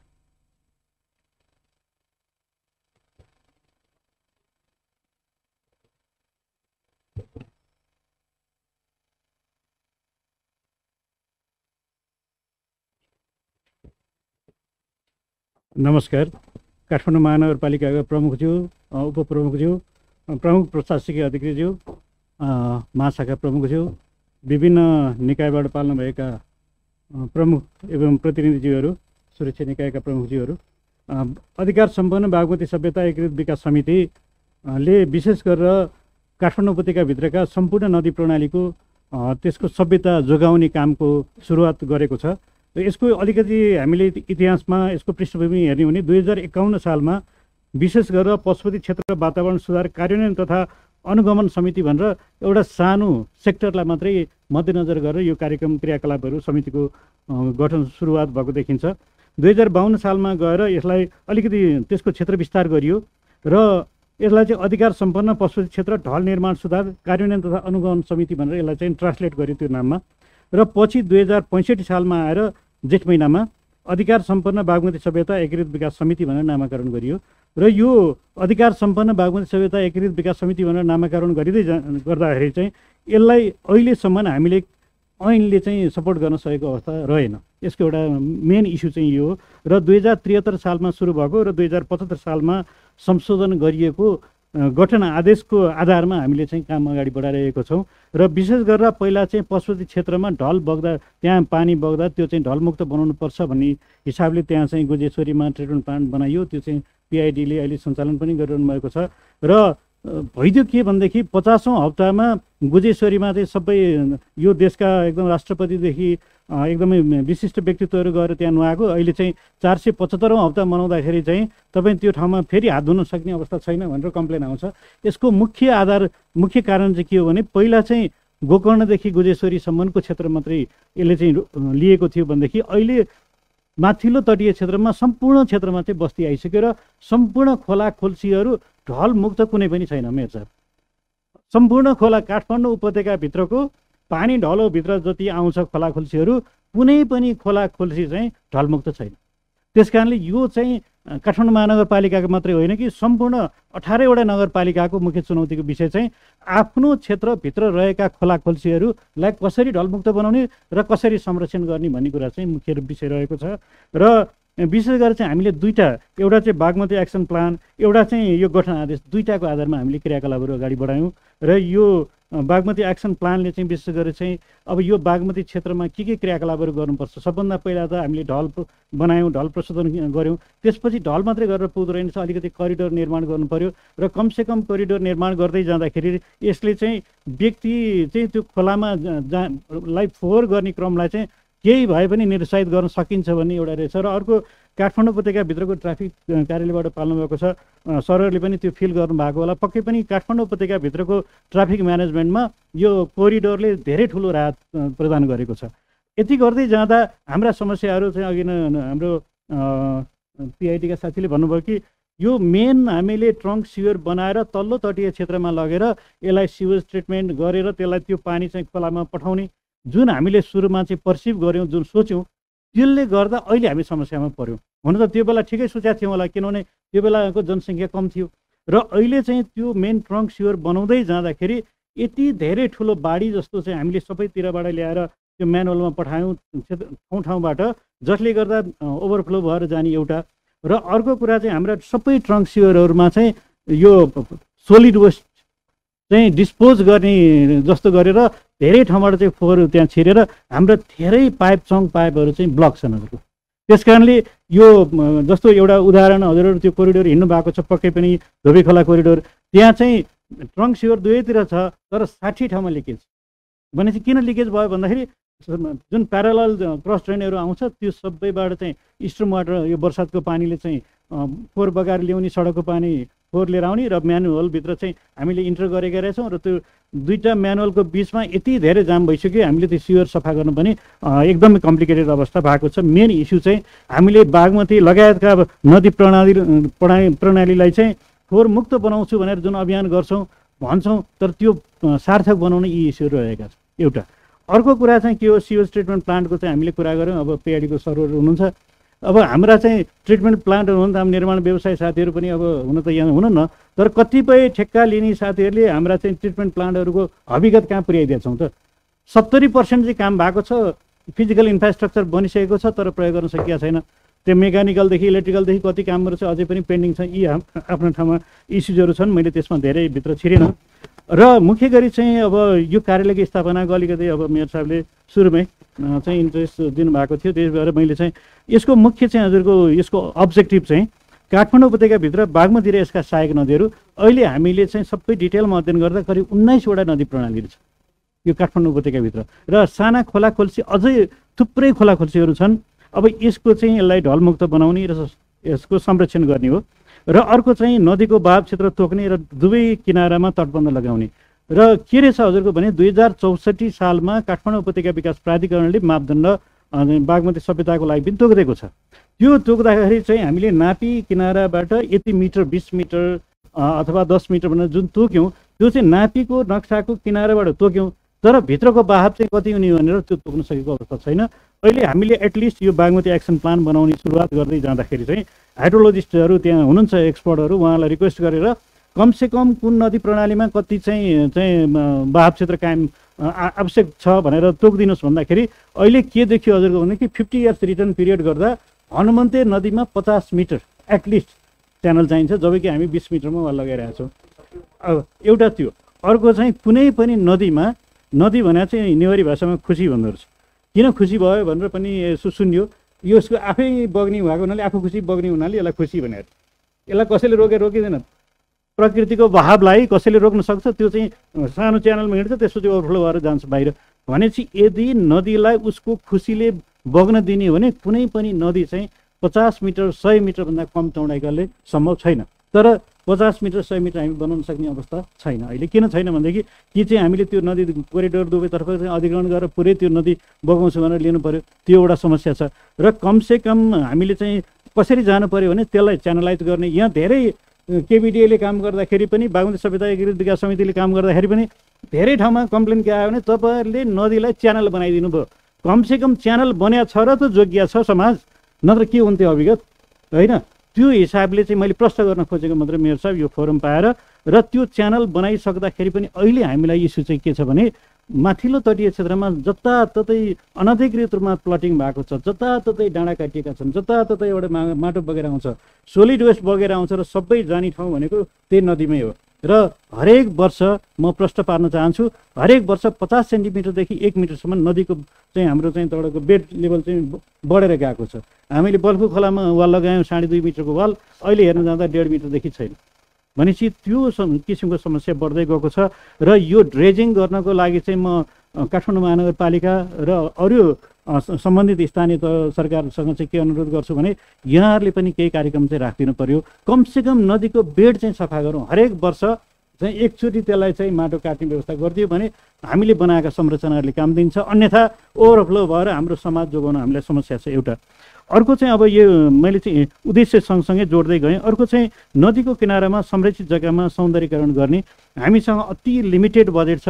त्यही भएर हामीले विभिन्न सङ्घ संस्थाहरूलाई हाम्रो मापदण्डभित्र रहेर चाहिँ ब्युटिफिकेसनको लागि आह्वान गर्छौँ। आइरहनु भएको छ तर दुःख साथ भन्नुपर्छ मेयर साहब हाम्रो हामीले सम्झौता गरेको चाहिँ मसी नसुक्दै पार्क भनेर निर्माण गर्ने भनेर सम्झौता गर्ने गएर घर बनाइदिने। अनि त्यही घर चाहिँ त्यो त्यो चाहिँ जुन संरचना स्थायी संरचना छ त्यो सबैको टाउको दुखायो भने र त्यो तोड्न गयो भनेदेखि अब कस्तो अवस्था हुन्छ हामी सबैले बुझेकै छौँ। तर कमसेकम हामीले एउटा मापदण्ड के कायम गरौँ भनेदेखि नदी संरक्षण गर्नको लागि त्यो जुन किसिमको हाम्रो एउटा मापदण्ड छ त्यो अनुसार जानको लागि सबैलाई मैले यही फोरममा मार्फत अनुरोध पनि गरेँ। र अर्को चाहिँ यो सरसफाइको कुरा। हिजो मात्रै हामीले चाहिँ यो बागमती सफाइ महाअभियान चलिरहेको छ। दुई हजार सत्तरी साल जेठ पाँच गतेबाट सुरु भयो। र त्यो सुरु हुँदै जाँदा यो चाहिँ सहरी विकास मन्त्रालय दुई हजार उनसत्तरी साल जेठ पाँच गते स्थापना भएको। त्यसको स्थापना दिवस एक वर्षको चाहिँ बर्थडे मनाउने क्रममा यो महाअभियान सुरु भयो। सुरु भएर अहिले चाहिँ दुई सय प चार सय पचहत्तरौँ हप्ता मनाइरहेका छौँ मेयर साहब उपमेयर साहब। र यो मनाउँदै जाँदा चाहिँ मान्छेलाई के फिल भएछ भने हामीले फोहोर गर्ने यिनीहरू आएर सफा गर्ने। भनेपछि बिस लाख मान्छेले गरेको फोहोर दुई सय कर्मचारीले दुई सय चार सय चाहिँ यो त्यहाँका स्वयंसेवकहरूले गरेर सम्भव हुन्छ र हुँदैन। भनेपछि मैले यही फोरमलाई चाहिँ प्रयोग गरेर के अनुरोध गर्न चाहन्छु भने सकिन्छ सफा गर्न आउँ सबैजना। होइन भने फोहोर चाहिँ नगरौँ। फोहोर मात्रै नगरिदिने हो भने सफा गर्नको कम पर्ला नि। यहाँ त हजुरको हरेक हप्ता सफा गरेर गयो। यो अब्जसको काम। बागमती सभ्यता एकीकृत विकास समितिमा कार्यरत अध्यक्षज्यू लगायत हामी त्यो पदाधिकारी जो जो छौँ यो क्यान्सरको डक्टर जस्तै हो। हामीले जस पाउँदैनौँ। एक हप्ता सफा सफा गरेर गयो अर्को हप्ता जस्ता जस्तै हुन्छ। कसरी जस पाउने? जनपति सरलाई थाहा छँदैछ त्यो कोटसरबाट हेर्नु भएको छ सबै चिज। भनेपछि त्यो सफाइ अभियानलाई अब चाहिँ हामीले नियन्त्रित गर्नुपर्छ मेयर साहब। हजुरहरूको साथ सहयोग र यो स्थानीय सरकार विशेष गरेर काठमाडौँ उपत्यकाभित्रका सबै महानगरपालिका नगरपालिकाका जनप्रतिनिधिहरूले इच्छा शक्ति प्रकट गर्नुभयो भने यो सफाइ अभियानलाई रोक्न सकिन्छ। अस्ति मात्रै हामीले यहाँ वडाबाट यहाँ वातावरण शाखा प्रमुखज्यूलाई नै बोलाएको थियौँ। तत्काल हामीले कारवाही गर्न पाएनौँ। हामीसँग त्यो अथोरिटी रहेनछ। नाम चाहिँ अधिकार सम्पन्न बागमती सभ्यता नाम चाहिँ काफी छ तर काम काफी छैन। किनभने त्यो पर्यावरणीय रक्षक भनेर अहिले हामीले ऐनमा चाहिँ प्रस्ताव गरेका छौँ। कमसेकम यो सुरक्षा निकाय ड्रेस लगाएको मान्छे सिटी फुक्ने मान्छे समात्ने मान्छे चाहिँ चाहिँदो रहेछ। हाम्रो समाजमा त्यो समातेर कारवाही गऱ्यो भने बल्ल जरिवाना पनि अलिक कडै खालको लगाइदियो भनेदेखि बल्ल यो बागमती लगायतको नदी प्रणालीलाई संरक्षण गर्न सकिन्छ। र अब म अलिकति थोरै डेबिट होला। मैले सरी मैले बढी समय लिएँ किनभने यो कुनै पनि सिटी संसारभरिको सिटीको चाहिँ मूल्याङ्कन कसरी हुँदो रहेछ हजुरको म आफू चाहिँ अरवन पानी यसो पढाए हुनाले त्यो यसो अध्ययनको क्रममा मैले थाहा पाएको। यो सिटीको मूल्याङ्कन चाहिँ ओपन स्पेसले हुँदो रहेछ कि? कुनै पनि नदी प्रणाली कुनै पनि ओपन स्पेसको म्यानेजमेन्ट र ओपन स्पेस भने सबभन्दा ठुलो त सडकै हो नि। सडकको म्यानेजमेन्ट कसरी गरिरहेछ नदीको म्यानेजमेन्ट कसरी गरिरहेछ त्यो सिटीले त्यो त्यो त्यहाँको सरकारले भन्ने कुराले नै संसारभरिलाई चिनाउने भएको हुनाले कमसेकम हामीले नदी कोरिडोरलाई उज्यालो बनाऊ। र त्यो उज्यालो बनाउनको लागि चाहिँ विद्युत प्राधिकरणबाट सर आउनु भएको छ। मैले हार्दिकतापूर्वक आजै रिक्वेस्ट के गर्छु भनेदेखि सबै नदी प्रणालीमा बत्ती हालिदिनुहोस्। कति लाग्छ लागोस्। त्यो गरिदिनुहोस् यहाँले। किनभने काठमाडौँवासी काठमाडौँ उपत्यकावासी काठमाडौँवासी हुनाले काठमाडौँ उपत्यकावासी सबैको माग हो। सबै नदीलाई उज्यालो बनाइदिनुहोस्। एउटा।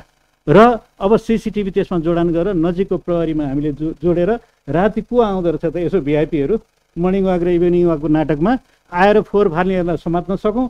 त्यसो भने बागमती सफाइ गर्नलाई ठुलो चाहिँ धेरै ठुलो मेहनत पर्दैन जस्तो लाग्छ मलाई। र धेरै कुराहरू छन् मेरो साथ। मैले फेरि धेरै स्पेस लिँदा साथीहरूले माइन्ड गर्नु होला मैले अहिलेलाई यति राखेँ। हस् धन्यवाद। थ्याङ्क यू श्रीमान प्रमुखज्यू उपप्रमुखज्यू प्रमुख प्रशासक अधिज्यू सम्पूर्ण सरहरूलाई नमस्कार यो वास्तवमा यो अहिले सबै सरहरूले जुन जुन आफ्नो कार्य भनौँ संस्थाको कार्यक्षेत्रको चाहिँ एक किसिमको जिम्मेवारी अथवा कार्यको कुराहरू प्रमुखज्यू उपज्यूलाई थाहा भयो यो वास्तवमा हामीलाई त एक हिसाबले थाहा छ तर जनप्रतिनिधिहरूलाई त्यो थाहा पनि छैन कुन निकायको चाहिँ काम जिम्मेवारी के हो भन्ने कुरा। यसले एउटा चाहिँ हामी सबैलाई आफ्नो जिम्मेवारी पनि थाहा दियो। दोस्रो कुरा यो पहिले अघि अहिले अलिक कुरा पनि उठाएको थियो। हामी लगभग अघिल्लो नौ दस वर्ष अगाडि सडक विस्तारकै अभियानमा यो यस्तो किसिमको मिटिङ चाहिँ कोअर्डिनेटिभ मिटिङ सधैँ बस्थ्यो। त्यसले सडक विस्तार कामहरूलाई धेरै सहजीकरण गरेको थियो। विभिन्न किसिमका निकायहरूको इन्भल्भमेन्टमा यो सौन्दर्यकरणदेखि लिएर निर्माणकै काममा पनि त्यो कोर्डिनेसनले चाहिँ सपोर्ट गरेको थियो। यो बिचमा लगभग पाँच छ वर्ष यो हराएको थियो। अहिले नेसाहरू आइसकेपछि सबै निकायहरूलाई एक किसिमको यो बैठक गरेर संयुक्त रूपमा सामूहिक रूपमा जाउँ भन्ने किसिमको जुन चाहिँ निर्देशन भएको छ त्यही अनुसार हामी यो गरिरहेका छौँ। पछिल्लो उसमा सरहरूलाई जानकारी पनि होला। अब यो अस्ति आठ दस दिन अगाडिदेखि हामीले इन्फ्रास्ट्रक्चर एम्बुलेन्स भनेर सञ्चालनमा ल्याएका छौँ। यो यसले चाहिँ धेरै कुराहरूको चाहिँ अहिले काम गरिरहेछ तर हामीलाई पछिल्लो चरणमा धेरै ठाउँबाट धेरै व्यक्तिहरूबाट यो डिमान्ड भइरहेछ। यो ठाउँमा यस्तो यस्तो समस्या छ खाल्टाखुल्टी चाहिँ बनाइदिनु पऱ्यो अब मैले सोद्धाखेरि यो कसले खनेको भन्दाखेरि कसैले पिआइडीलाई भन्छ कसैले मेलम्चीलाई भन्छ। मेलम्ची भनेकै अलमि अलमोस्ट नै पिआइडी नै होला। अब पब्लिकको मुखमा मेलम्ची भन्ने छ। केएलको कुरा विद्युत प्राधिकरणको कुरा यो धेरै ठाउँ धेरै संस्थाहरूले खनेको तर अब त्यो पुरिदिनु पऱ्यो गरिदिनु पऱ्यो भनेर अहिले महानगरपालिकालाई धेरै व्यक्तिहरूबाट विभिन्न ठाउँहरूबाट आइरहेको छ। यो सबै हामीले गर्न सक्ने अवस्था पनि होइन किनभने संयुक्त रूपमा आफ्नो जिम्मेवारी सबैले निर्वाह गर्यो भने सबैलाई सजिलो हुन्छ। सबै महानगरपालिकाले गर्न सक्छ भन्ने पनि होइन हामीले एउटा प्रयास गरेका हौँ। यसमा चाहिँ सरहरूले अलिकति आफ्नो चाहिँ ठाउँबाट जे जे हामीले काम गरेका छौँ त्यसलाई सम्पन्न हुने गरी चाहिँ गरिदियो भने बिचमा छोडिदिने कामले अर्कोलाई फेरि बढ्नुपर्छ यो मैले सरहरूलाई एउटा चाहिँ अनुरोध गरेँ। अर्को यो अहिले अघि हाम्रो बागमती सरहरूले भन्नुभयो बागमती उपत्यका बागमती सभ्यताबाट जुन कोरिडोरको काम भइरहेछ त्यो वास्तवमा त्यसले धेरै सहजीकरण गराएको छ यातायातमा। तर यो अन्डरपासका कुराहरू चाहिँ धेरै लथालिङ्ग भयो। अन्डरपास चाहिँ अब त्यो ठेक्का दिएर पनि काम नभएर हो कि अथवा ठेक्कै नदिएको हो त्यो चाहिँ यो विश्वमती बागमतीको कोरिडोरमा इभन मनोरामा पनि। अहिले यो पछिल्लो यो एम्बुलेन्सले सबै कुरा महानुहरूले गर्ने हो भन्ने हिसाबले यो अन्डरपासको कुरा पनि यो गरिदिनु पऱ्यो ग्राभल गरिदिनु पऱ्यो कमसेकम चाहिँ त्यो बेस राखिदिनु पऱ्यो भनेर हामीलाई आइरहेछ। मैले यो पनि सरहरूलाई यही यही फोरमबाट सेयर गर्नलाई पनि सजिलो हुन्छ भनेर हामीले यो कुराहरू अगाडि ल्याएका हौँ अर्को कुरा मैले सरहरूलाई एउटा चाहिँ यही फोरमबाट भन्ला हाम्रो चाहिँ पर्सि दस गते बजेट प्रस्तुत हुन्छ नगरसभामा सरहरूको त अलमोस्ट बजेट पेस पनि भइसकेको छ कार्यक्रम पास पनि भइसक्यो होला। त्यसलाई चाहिँ अब हाम्रो कार्यक्रमसँग भोलि डुप्लिकेसन नहोस्। फेरि हामीले पनि त्यही कार्यक्रम राख्ने सरहरूको पनि कार्यक्रम छ भने त्यो चाहिँ डुप्लिकेसन हुनसक्छ भनेर सरहरूले आफ्नो कार्यक्रमहरू चाहिँ हामीलाई उपलब्ध गराइदिनु भयो भने त्यो त्यसलाई पनि त्यो चाहिँ सहज हुन्छ। अर्को कुरा चाहिँ अब यो काम गर्ने क्रममा धेरै ठाउँबाट अब एकअर्कालाई हामीले फलानुको फलानुको भन्ने भन्दा पनि आफ्नो काम चाहिँ हामी आफै गरौँ। नसकिने काम छ अथवा चाहिँ महानगरपालिकाले गरिदिनु पर्ने कामहरू छ भने अघि पिआइडीको सरले भन्नुभयो पुरै सडक चाहिँ गरिदिनु पऱ्यो भनेर पिआइडीलाई होइन बरु सरहरूले त्यो खनेको भएको पैसा चाहिँ त्यसको लाग्ने खर्च महानगरपालिकालाई उपलब्ध गराउनु भन्नु भयो भने हामी बरु पुरै गरिदिन्छौँ। यहाँ त कतिपय अवस्थामा हामीले चाहिँ काम गर्ने क्रममा काम गर्दा गर्दै बेस लेभल चाहिँ कम्प्याक्सन गरिसकेपछि खनिरहेको छ क्या। बेसको काम सकिसक्यो। अब ब्ल्याक टप मात्रै गर्न बाँकी छ तर त्यहाँ पाइपलाइनको काम भइरहेछ। त्यसले गर्दा एकातिर हाम्रो टाइम चाहिँ त्यसले चाहिँ अब एक्सटेन्सन गरायो। अर्को कुरा चाहिँ क्वालिटीमा पनि त्यसले चाहिँ असर गर्यो। त्यस्तो अवस्था छ भने बरु त्यो काम चाहिँ खन्ने काम सरहरूले अगाडि नै गरिदिउँ।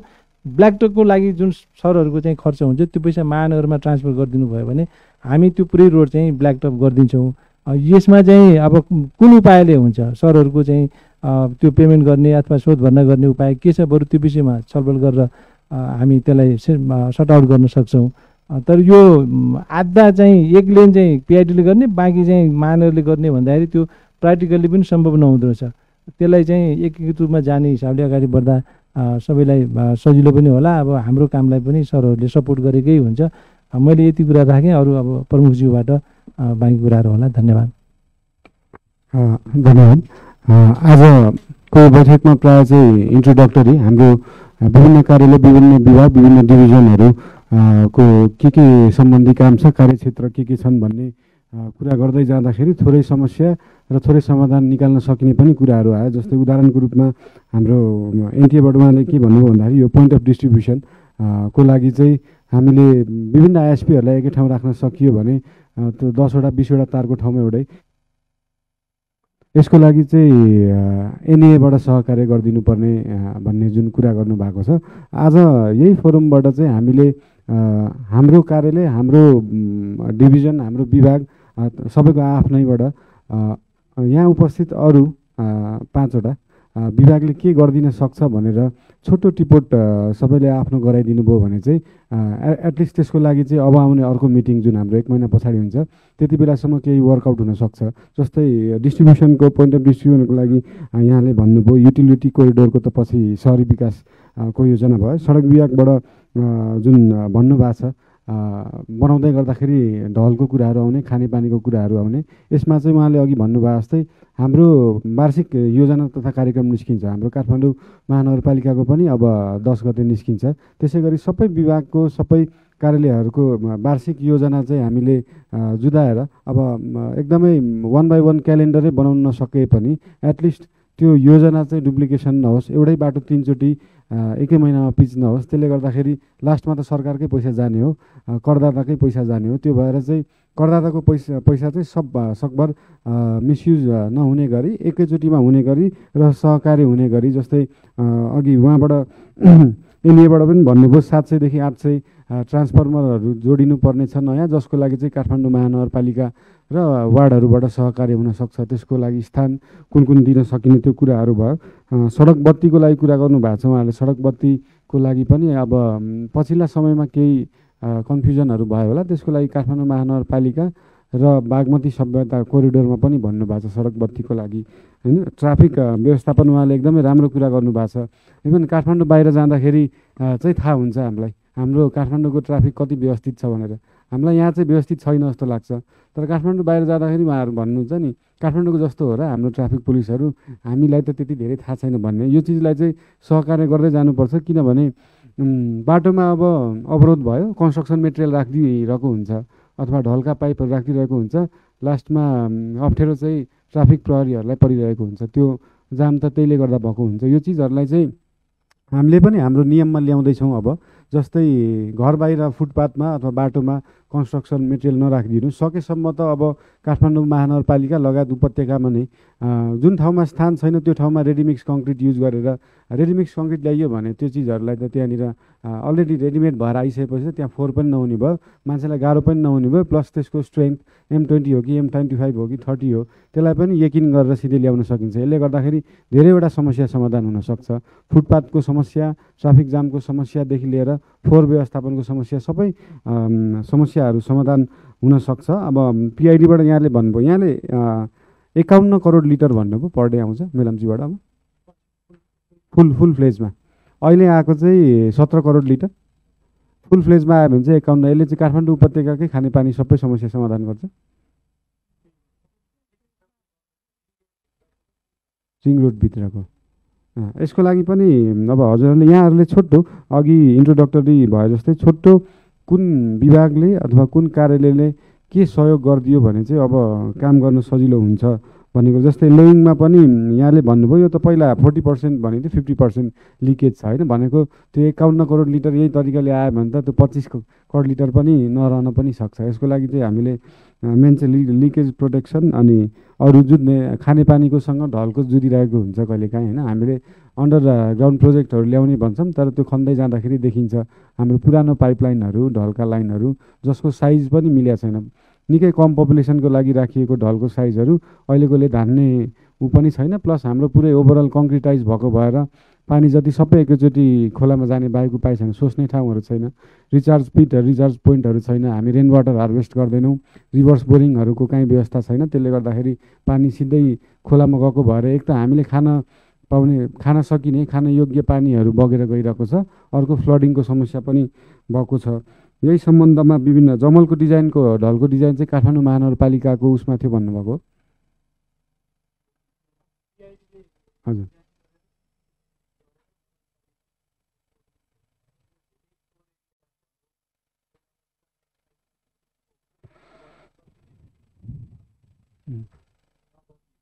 यसको यसको लागि फेरि केही वर्कआउट गरेर त्यो किनभने यो त सबैको समस्या हो होइन? एउटा कुनै कार्यालय विभागको समस्या होइन यसको लागि वर्कआउट गरेर बजेट अब त्यो सहरी विकासबाट पनि हुनसक्छ महानगरबाट पनि हुनसक्छ जेबाट हुन सकिन्छ हाम्रो सहकार्यमा होस्। र अब अघि उहाँले भन्नुभयो जस्तै बागमती सभ्यता नै पुरै झलमल्ल टिलिक्क होस् जुन एनइएलाई भन्नुभयो जुन सबैको सहकार्यमा। अब चाहिँ छोटो दुई तिन लाइनमा चाहिँ कुन विभागले हामी सबैजना टिपौँ कुन विभागले कुन कार्यालयले अथवा काठमाडौँ महानगरपालिकाले अथवा हाम्रो वडा कार्यालयहरूले अथवा भनौँ न हाम्रो नगर प्रहरीबाट जुन उहाँले भन्नुभयो त्यो बेलुका फोहोर कसैले आएर फालिदिन्छ हामी त्यसमा सिसिटिभी त्यो एरियाहरूमा जडान गर्न सक्छौँ कि? सिसिटिभी जडान गर्नलाई हामीले फेरि ट्राफिक प्रहरीसँग सहकार्य गर्नुपर्छ। हामीले आफै जोड्न नमिल्ने कुराहरू धेरै ऐन कानुनका कुराहरू छन्। यसको लागि चाहिँ छोटो दुई तिन लाइनमा सबैले कुन कुन विभाग कुन कुन कार्यालय कुन कुन ठाउँबाट चाहिँ के के सहयोग गर्न सकिन्छ सहकार्य गर्न सकिन्छ छोटो हजुरकोबाटै सुरु गरेर भनिदिनु होला। हामी टिप्छौँ सबैजना। धन्यवाद मेयर साहब विशेष त यो अब स्पेसिफिक समस्या भयो मेयर साहबको भन्दा अलिकति फरक मत राख्ने दृष्टान्त गरेँ मैले यसलाई अन्यथा नलिदिनु होला खास चाहिँ यो सञ्चार मन्त्रालय एनइए र एनटिए बसेपछि यो प्रब्लम सल्भ हुन्छ यसमा लाइसेन्सिङको इस्यु छ एउटा रेगुलेसनको इस्यु भयो कसलाई लाइसेन्स दिने त हजुरले भने जस्तो पोइन्ट अफ डिस्ट्रिब्युसन गर्नलाई कोही त अथोराइज हुनु पऱ्यो अनि ऊ चाहिँ रेस्पोन्सिबल हुनु पऱ्यो सेयरको लागि। अनि एनइएको सम्बन्धमा उसले आफ्नो ओनरसिपमा आफ्नो एसेट्सको रूपमा राखे राखेको उसलाई ह्यान्डओभर कि सेल गर्नु पऱ्यो।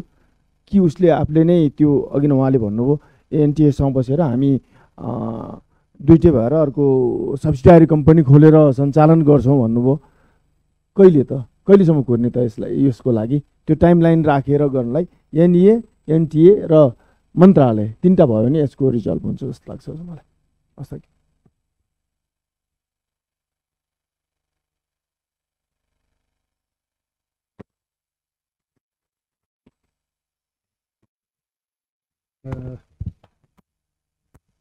हेलो? हजुर हामी अब सडक विभाग चाहिँ अहिले खास हामी यो केन्द्रीय सडक प्रणालीमा अहिले एकदमै हामीलाई प्रेसर छ। अहिले बाढी पहिरो बढेर एकदम अर्ली मनसुनले गर्दा हाम्रो एकदमै फोकस चाहिँ राजमार्गतिर छ। अहिले पृथ्वी राजमार्ग नारायणगढ मुगलिनदेखि सबै काठमाडौँ आउने नै राजमार्गतिर हाम्रो धेरै ध्यान केन्द्रित छ। अब यसमा चाहिँ मेयर साहबले अहिले भने जस्तो चाहिँ अब हाम्रो पनि हाम्रो यहाँहरूको पूर्वाधार एम्बुलेन्स जस्तै हाम्रो पनि रेडिमिक्स प्लान्टको हाम्रो पनि नाम त्यो पूर्वाधार न एम्बुलेन्स नदिए पनि हाम्रो पनि सडक विभाग लेखिएका ट्रकहरूमा चाहिँ हाम्रो पनि तयार छन्। अनि हाम्रो चाहिँ प्रिमिक्स गर्ने क्यापेसिटी नै छ हाम्रो। हाम्रो हाम्रो ठुलो प्लान्ट नै छ त्यहाँ हाम्रा दक्ष मान्छेहरू नै छन् र उनीहरूले सफा मौसम पायो भने एक दिनमै ढमानै टिल्कै पारिदिने अवस्थै छ र हामीले धेरै गरिरहेकै छौँ अहिले। अहिले जहाँ यहाँ जहाँ पटल देखिन्छ जस्तो हाम्रो त्यो लेखेका हाम्रो राजमा त्यो हामीले किताबमा लेखेका जतिमा त हाम्रो रेडी नै दौडिरहेकै छन् र त्यस्तो महानगरलाई अझै पनि काहीँ एकदम इम्पोर्टेन्ट ठाउँ भिआइपी मार्गहरू जहाँ त्यस्तो अवस्था पऱ्यो भने हामी पनि सहयोगको लागि तयार छौँ। हाम्रो हामी पनि रेडी रेडी रेडी हालतमै छौँ र हामी एउटा विभागमा एउटा नीति कानुन बनाएर हामी कसरी चाहिँ कोर्डिनेसनमा काम गर्न सक्छौँ अझै पनि।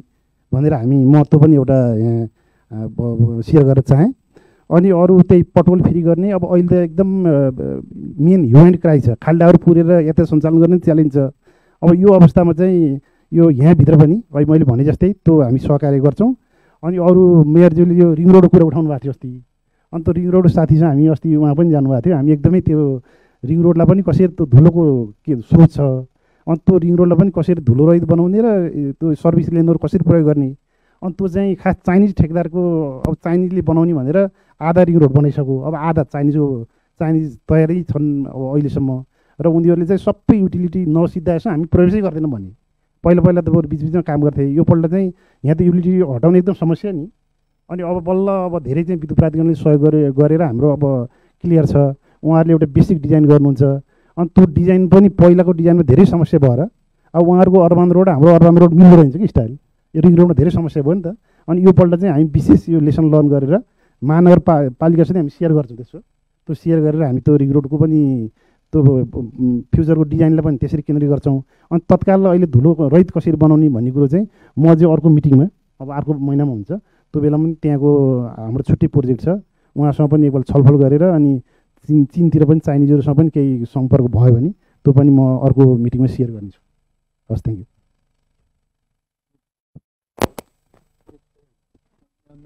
दुईवटा कुरा रिक्वेस्ट गर्नु पऱ्यो मैले। खास पहिलो कुरा चाहिँ पुरुषोत्तम सरलाई। त्यो हजुरको तारहरूको व्यवस्थापन गर्नलाई मर्मत गर्नलाई फेर्नलाई अनि टाइम टाइममा आग लागि हुन्छ। अहिले चाहिँ one point five one is two one point five एक पर डे एउटाले नमानेर चार सय एबभ आग लागि भएको डाटा हामीसँग छ होइन? त्यो चाहिँ बिजुलीको पोलमा भएका तारै डढ्ने हो। त्यो त्यसलाई मर्मत गर्ने बेलामा चाहिँ हजुरहरूको नयाँ तार त तान्छ तर पुरानोलाई यतिकै छोड्छ। त्यसलाई चाहिँ एटलिस्ट काटेर भुइँमा झारिदिनु पऱ्यो अब हाम्रोले काट्दाखेरि के हो भने चुँडेको तारलाई काटेर तल झार्नु त हामी गर्छौँ तर कहिले काहीँ के भने भुइँमै लत्रेकोमा पनि सर्भिस डेलिभरी भइरहेको हुँदो रहेछ। अस्ति पुर्ली सडकमा यहाँ मलाई अभियोग आयो। हाम्रो चाहिँ ब्याङ्किङ सर्भिस चाहिँ डिस्टर्ब भयो भनेर। अब भुइँमै भएकोलाई काटे हो भर्याङ लाएर काटे होइन। भुइँमा लत्रिएको थियो काटेर ल्याउँदाखेरि उहाँहरूको सर्भिस अवरुद्ध भएछ। ती मान्छेहरूले कहाँ मर्मत गर्छन् त्यसले एटलिस्ट मलाई कोर्डिनेसन गरोस्। उसले काटेर झारेको हामी उठाएर ल्याउँला। तर सहरमा फोहोर भएको कुरा चाहिँ डिस्टर्ब हुन्छ होइन। र आगलागी भएर मर्मत गर्दाखेरि पनि उनीहरूले हामीलाई मर्मत गरेको समयमा कन्ट्याक्ट गरून्। मेरो नम्बर हजुरसँग छँदैछ उनीहरूले कन्ट्याक्ट गऱ्यो भने बाँकी कोर्डिनेसन मिलाउला अर्को चाहिँ यो निर्माण अवशेषको सन्दर्भमा यहाँ हामी सबै चाहिँ यही सहरभित्र निर्माण गर्ने एजेन्सीहरूका चाहिँ प्रमुखज्यूहरू धेरै हुनुहुन्छ। हामीले लकडाउनको समयमा यहाँहरूका पटक पटकमा भएका ठेकदारहरूले गरेका हिमपाइपका टुक्रा अब त्यो पिआइडीका चाहिँ ती कालो बेलायती पाइपका टुक्रा होइन नाइलनका पाइपदेखि लिएर कर्बिस्टोन अनि ढुङ्गाहरू इँटाहरू बालुवा यी सब चिज चाहिँ हामीले लकडाउनमा उठायौँ। अब अब एटलिस्ट चाहिँ ठेदार परिचालन हुँदाखेरि काम सकेपछि साइड क्लियर गर्नु पऱ्यो मिलन सरलाई मैले अघि रिमाइन्ड गराएको छु हाम्रै रिक्वेस्टलाई स्वीकार गरेर वाल त बनाइदिनु भयो तर निर्माण अवशेष अझै बाँकी छ। अब त्यो क्रममै होला तर रङ लगाइसकुन्जेल पनि नउठ्नु चाहिँ दुःखद कुरा हो।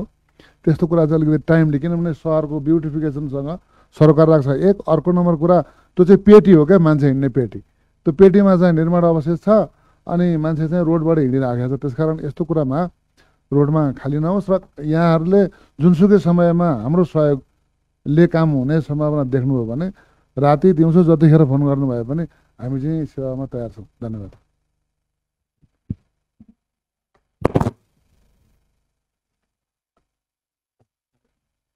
मैले प्रमुख त यो सडक बत्तीको कुरा थियो यो मतलब यो बागमतीको चाहिँ करिडोरहरूमा सडक बत्ती राख्ने भन्ने।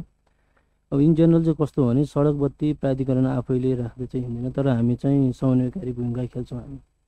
र हामी कतिसम्म चाहिँ गर्न सक्छौँ भनेदेखि अब जुन निकायले त्यसमा सडक बत्ती राख्न खोजेको हो त्यसको फोर्टी पर्सेन्टसम्म कस्ट चाहिँ हामी बिहा गर्न सक्छौँ हामी। प्लस त्यसमा अर्को एउटा फाइदा के छ भने यहाँहरूले चाहिँ हाम्रो आफ्नै पोल प्रयोग गर्न सक्नुहुन्छ भन्दाखेरि खर्च चाहिँ एकदमै कम लाग्छ त्यो। त्यस कारण सहकार्य गर्न हामी तयार छौँ र चाहिँ मूलत चाहिँ अब यो बत्ती राखिसकेपछि यो बत्तीको पैसा भुक्तानी गर्ने चाहिँ ग्यारेन्टी चाहिँ हुनुपर्छ कुनै निकायले लिनुपर्छ यसको। र तपाईँको सिक्सटी फोर्टी कार्यक्रममा हामी बत्ती सडक बत्तीहरू राख्न हामी सक्छौँ। त्यो हामीले पनि आफ्नो बाइलोमा हामीले त्यो फर्मुलेट गरेका छौँ। त्यसमा कुनै समस्या छैन त्यसमा। र अर्को अब यो जुन अहिले हाम्रो एनडिएको अध्यक्षज्यूले भन्नुभएको यो चाहिँ यो कहिले दर्ता हुने उ गर्ने भन्ने कुरा अफकोर्स यो चाहिँ अब यो दुइटा इन्टिटीबाट फेरि अर्को एउटा इन्टिटी हामीले जन्माउन खोजेका छौँ। यसलाई टाइम लाग्छ। र यो चाहिँ प्राधिकरणले चाहिँ व्यापारिक उद्देश्यले राखेको लाइनहरू नै होइन प्राधिकरणले इन्टरनल हाम्रो आफ्नै कम्युनिकेसनको लागि राखेको लाइनहरू र उहाँहरूले त्यस्तै रेगुलेट गर्नै आवश्यक हो। प्राधिकरणले नै सबै सिस्टम बिहारेको भने फिल हुन्छ भनेदेखि हाम्रो सिस्टममा तपाईँको ज जसले हाम्रो सर्भिसहरू लिइरहेको छ त्यो सर्भिसहरू चाहिँ तपाईँले नलिनुहोस् भने हामीलाई आपत्ति हुँदैन। यसमा र यो कुरा चाहिँ बारम्बार हरेक फोरममा यही सुनिराख्नुपर्छ र हामी यसमा त्यो यसको यसको मतलब फेरि हामी चाहिँ त्यो रेगुलेसनबाट बाहिर बस्ने भन्ने होइन है। हामी पक्कै पनि हामीले प्रयास गरिरहेछौँ हामी तपाईँको के तपाईँको फ्रेमवर्कमा आउँछौँ रेगुलेट गर्ने तपाईँले नै हो। तपाईँहरूको फ्रेमवर्कमा आउँछौँ। तर यो प्राधिकरणले नै हो सबै नै हो भन्ने किसिमको कुरा चाहिँ नभनिदिनु होला प्लिज। धन्यवाद।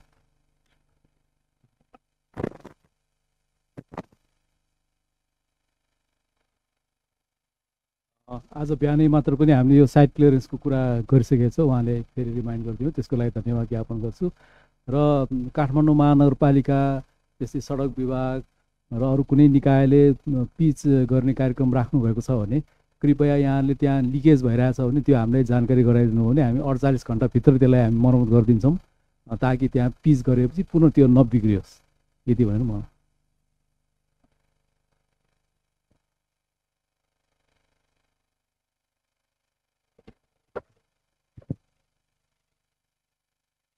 यो पिआइडीको तर्फबाट भन्नुपर्दा हामीले कोअर्डिनेसनहरू त धेरै जसो सडक विभाग र हाम्रो अहिले भूमिगत हुँदा एनइएसँग भएको छ। यो सडक विभागबाट भर्खरै प्रकाशित यो असार साउन्डमा सडक नखन्ने भन्ने जुन नोटिस आएको छ त्यो रियालिटीको हिसाबले ठिक छ। तर अब त्यसले चाहिँ हाम्रो कन्ट्र्याक्टहरू पनि केही एक्सटेन्सन गर्नुपर्ने समयमा काम नहुने सम्भावना भएकोले सम्भाव्य ठाउँहरूमा सबै ठाउँमा त सकिँदैन होला। त्यो स्वीकृति प्रदान भयो भने यो आफै रेनी सिजनमा पनि हामीले काम अगाडि बढाएर छिटो सकिन्थ्यो भन्ने एउटा मात्रै रिक्वेस्ट छ। अर्को चाहिँ अब हामी पछाडि यो डिवार्स राख्ने बेलामा स्थानीय वडाहरूसँग छलफल गरेर जग्गाको एभाबिलिटी भयो भने सरले भने जस्तै जोइन्ट इफोर्टमा डिवार्सहरू बनाउन सकियो भने यो नदीलाई जीवन्त राख्न सकिन्छ। त्योतर्फ पनि नगरपालिकाको धारणा भयो भने हामी जोइन्ट काम गर्ने प्रतिबद्धता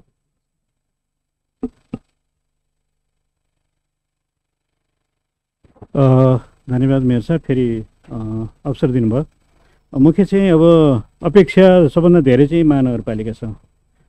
सबभन्दा पहिला चाहिँ महानगरपालिका र बागमती सभ्यतासँग जोडिएका बागमती सभ्यता यो हाम्रो नदी प्रणालीसँग जोडिएका सबै नगरपालिका प्रमुखज्यू उपप्रमुखज्यूहरूसँग हाम्रो अपेक्षा चाहिँ यो सरसफाइ महाअभियानमा हजुरहरू पनि सम्भावना भयो भने सहभागिताको लागि हार्दिक अनुरोध गर्छौँ।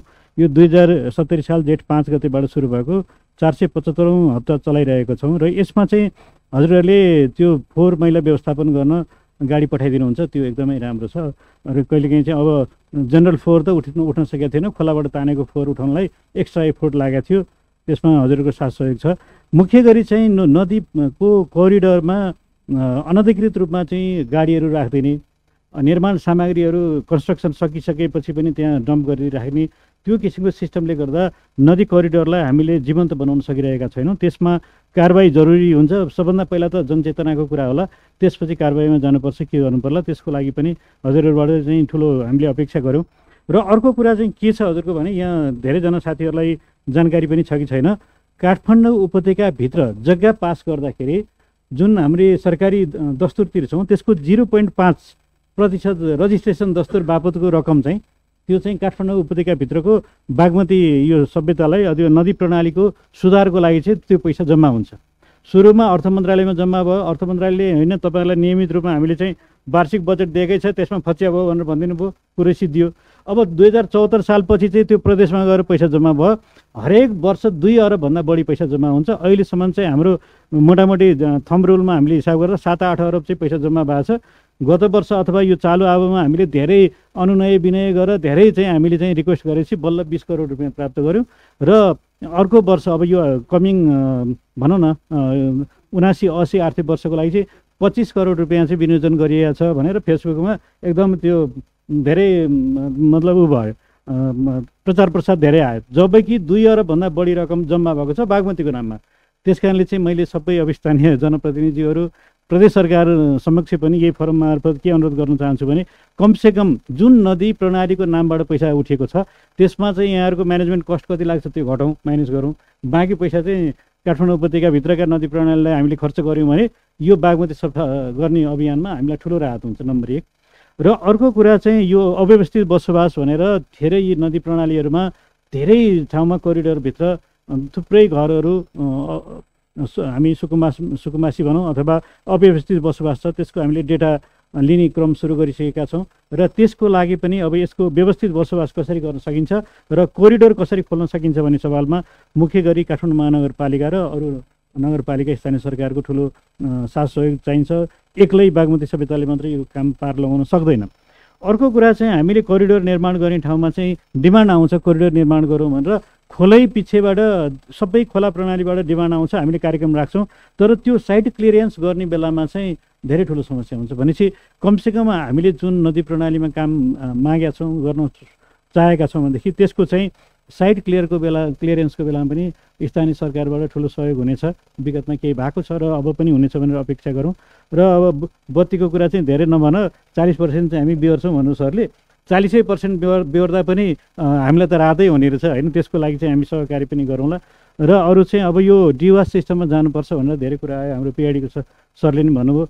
वास्तवमा हामीले लर्निङ बाई डुइङ गरेको छौँ कि? हामी त सबै नदीको चाहिँ दायाँ बायाँ ट्रङ्क्सीहरू लगाएर तल्लो तटीय क्षेत्रमा लगेर ट्रिटमेन्ट गरेर अनि राम्रो बनाउला भनेको हिउँदमा त कमिला हिँड्ने रहेछ खोलामा। विष्णुमती र यो के अरे धोबी खोलामा विशेष गरेर इभन हजुरको बागमतीमा पानी चाहिँ अबको बिस वर्षपछि बागमतीमा पानी हुँदैन भनेर पनि प्रक्षेपण गरेको छ कतिले होइन?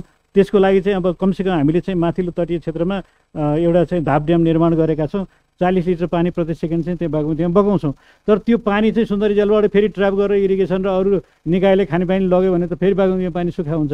भनेपछि यो नदी प्रणालीमा पानी कसरी कायम गर्ने भन्ने चाहिँ अर्को ठुलो चुनौती छ मेरो साहब होइन? त्यस कारणले त्यो चिजको लागि चाहिँ अब पानीसँग सरोकार राख्ने हाम्रा निकायहरू र काठमाडौँ महानगरपालिका र बागमती सभ्यताले सहकारी गर्न जरुरी छ। र यो कोअर्डिनेसनको बारेमा चाहिँ म सानो एउटा भनौँ है। Everybody talks about coordination but nobody wants to be coordinated के?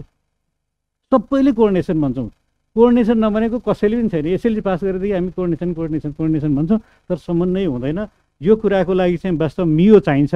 मियो चाहिँ मेयर साहब मेयर साहबले सुरु गर्नुभएको छ। यसको लागि हामी साधुवाद दिन्छौँ धन्यवाद भन्छौँ र यो कोअर्डिनेसन चाहिँ कोअर्डिनेसनमा आरसिसी भन्ने फर्मुलाहरू छ हामी स्ट्रक्चरको साथी हुनुहुन्छ उहाँ मसँग सँगै काम गर्नुभएको छ सञ्जोगले पहिला म पुनर्निर्माण काम गर्दा। आरसिसी भनेको रिलेसनसिप कोअर्डिने कम्युनिकेसन र कोअपरेसन के? कमसेकम हामीसँग जे भइरहेछ नि पहिला त रिलेसनसिप नै कायम गर्नु पऱ्यो अब यो किसिमको छलफल भएपछि हामी त सँगै एउटै अनुहार सबैको चिन्यो सबैलाई जान पहिचान भयो। त्यसपछि कम्युनिकेसन पनि गर्नु पऱ्यो क्या? हामी कहाँ के बन्दैछ र के बनाउने हाम्रो कार्यक्रम छ? अथवा तपाईँ कहाँ केही कार्यक्रम छ भनेर त्यो पनि जानकारी चाहिँ गराउनु जरुरी छ। यहाँ अब पिआइडीको साथी र हाम्रो त अफिसै जोडिया छ कहिले काहीँ उहाँको कार्यक्रम मलाई थाहा हुँदैन मेरो कार्यक्रम उहाँलाई थाहा हुँदैन। भनेपछि there is the lack of communication छ क्या? हामी आफूले आफूलाई आत्मा आलोचना पनि गर्नुपर्छ अनि कोअपरेसन गर्ने भावना पनि जगाउँ न यो चाहिँ यो बागमतीको मात्रै हो भनेर हिजो हामी त्यो महाअभियानमा गयौँ हजुरको। अनि फोहोर लिन नगरपालिका आउँदैन अनि फोहोर बागमती नफालेर कहाँ फाल्नु भन्ने क्वेसन आउँछ। अनि फोहोर लिन आएन भने त घरमा राख्नु पऱ्यो नि। अनि जहिले आउँछ उहाँहरूको म्यानेजमेन्ट मिल्छ त्यसपछि फोहोर फाल्ने हो भनेर त्यो किसिमको सन्देश हामीले प्रवाह गर्न खोज्यौँ तर त्यो त्यति कामयाब देखिएन कतिपय ठाउँमा। र अर्को चाहिँ अब यो चाहिँ सोर्स सेग्रिगेसन चाहिँ जुन एउटा वास्तवमा हामीले महाअभियानकै रूपमा चाहिँ महानगरपालिकाबाट सुरु गर्न लागेका छौँ। त्यसको लागि हामीले बागमतीले चाहिँ एउटा एनजिओ अलरेडी हामीसँग काम गर्दै हुनुहुन्छ। उहाँहरूलाई चाहिँ एउटा अभिमुखीकरण कार्यक्रम जस्तो अब भोलि पर्सि कहिले छ? बुधबार कार्यक्रम राखेर अब आउने हप्तादेखि चाहिँ हामीले बागमती नदीका छेउछाउमा चाहिँ कमसेकम कुहिने छु फोहोरलाई छुट्याएर राख्ने कम्पोस्ट बनाउने बिनहरू राखौँ। नकुहिने चिजहरू सकेसम्म बिक्री गर्न मिल्छ भने बिक्री गरौँ पैसा कमाउँ अथवा त्यसलाई रि रिसाइकल रि के भन्छ रिड्युस गर्ने के के छ हाम्रो थ्री आर फर्मुला अनुसार गरौँ भनेर त्यो चाहिँ हामीले सुरु गर्न लगाएका छौँ। र पक्कै पनि यो महाअभियानले केही सार्थकता पाउनेछ र बागमती कोरिडोरलाई चाहिँ सफा गर्नलाई बागमती सभ्यता हो नै काठमाडौँकै सभ्यता हो त्यसलाई जोगाउन चाहिँ अब केही कामयाब हुनेछ भन्ने विश्वास गरिन्छ। हस् धन्यवाद। सहभागीज्यूहरू खास गरी अब आजको हाम्रो कार्यक्रम लाइभ पनि भएको कारणले गर्दाखेरि यसलाई व्यवस्थित किसिमले सञ्चालन गर्ने प्रयत्न गरिएको थियो। पहिलो कार्यक्रम लाइभ भएको कारणले गर्दा हामीले सोचे जति व्यवस्थित गर्न त सकेनौँ यद्यपि यसमा सुधार गर्दै लैजाने हामी जमर्को गर्नेछौँ। र अब केही कुराहरू महानगरका तर्फबाट के अपेक्षा गरिएको छ त भन्ने कुराहरू पनि आउन सक्छ। त्यसमा म मेयर साहबको अनुमतिले केही कुराहरू यहाँ राख्न चाहन्छु। त्यो चाहिँ सम्बन्धित विभागहरूले अलिकति त्यसलाई प्रायोरिटीमा राखेर हामीलाई सहयोग गरिदिन सक्नुभयो भने सम्भवतः अर्को बैठकमा हामी थप उपलब्धिहरू के हासिल भए र हामीले थप गर्नुपर्ने काममा कसरी कार्ययोजना बनाएर अगाडि जान सक्छौँ भन्ने कुरामा लर्निङ पनि हुनुभएको हुनाले कुरा राख्न चाहन्छु म। सर्वप्रथम म सडक विभागमा गएँ। सडक विभागसँग अरू कुराहरू सबै सामान्य हिसाबमै आए।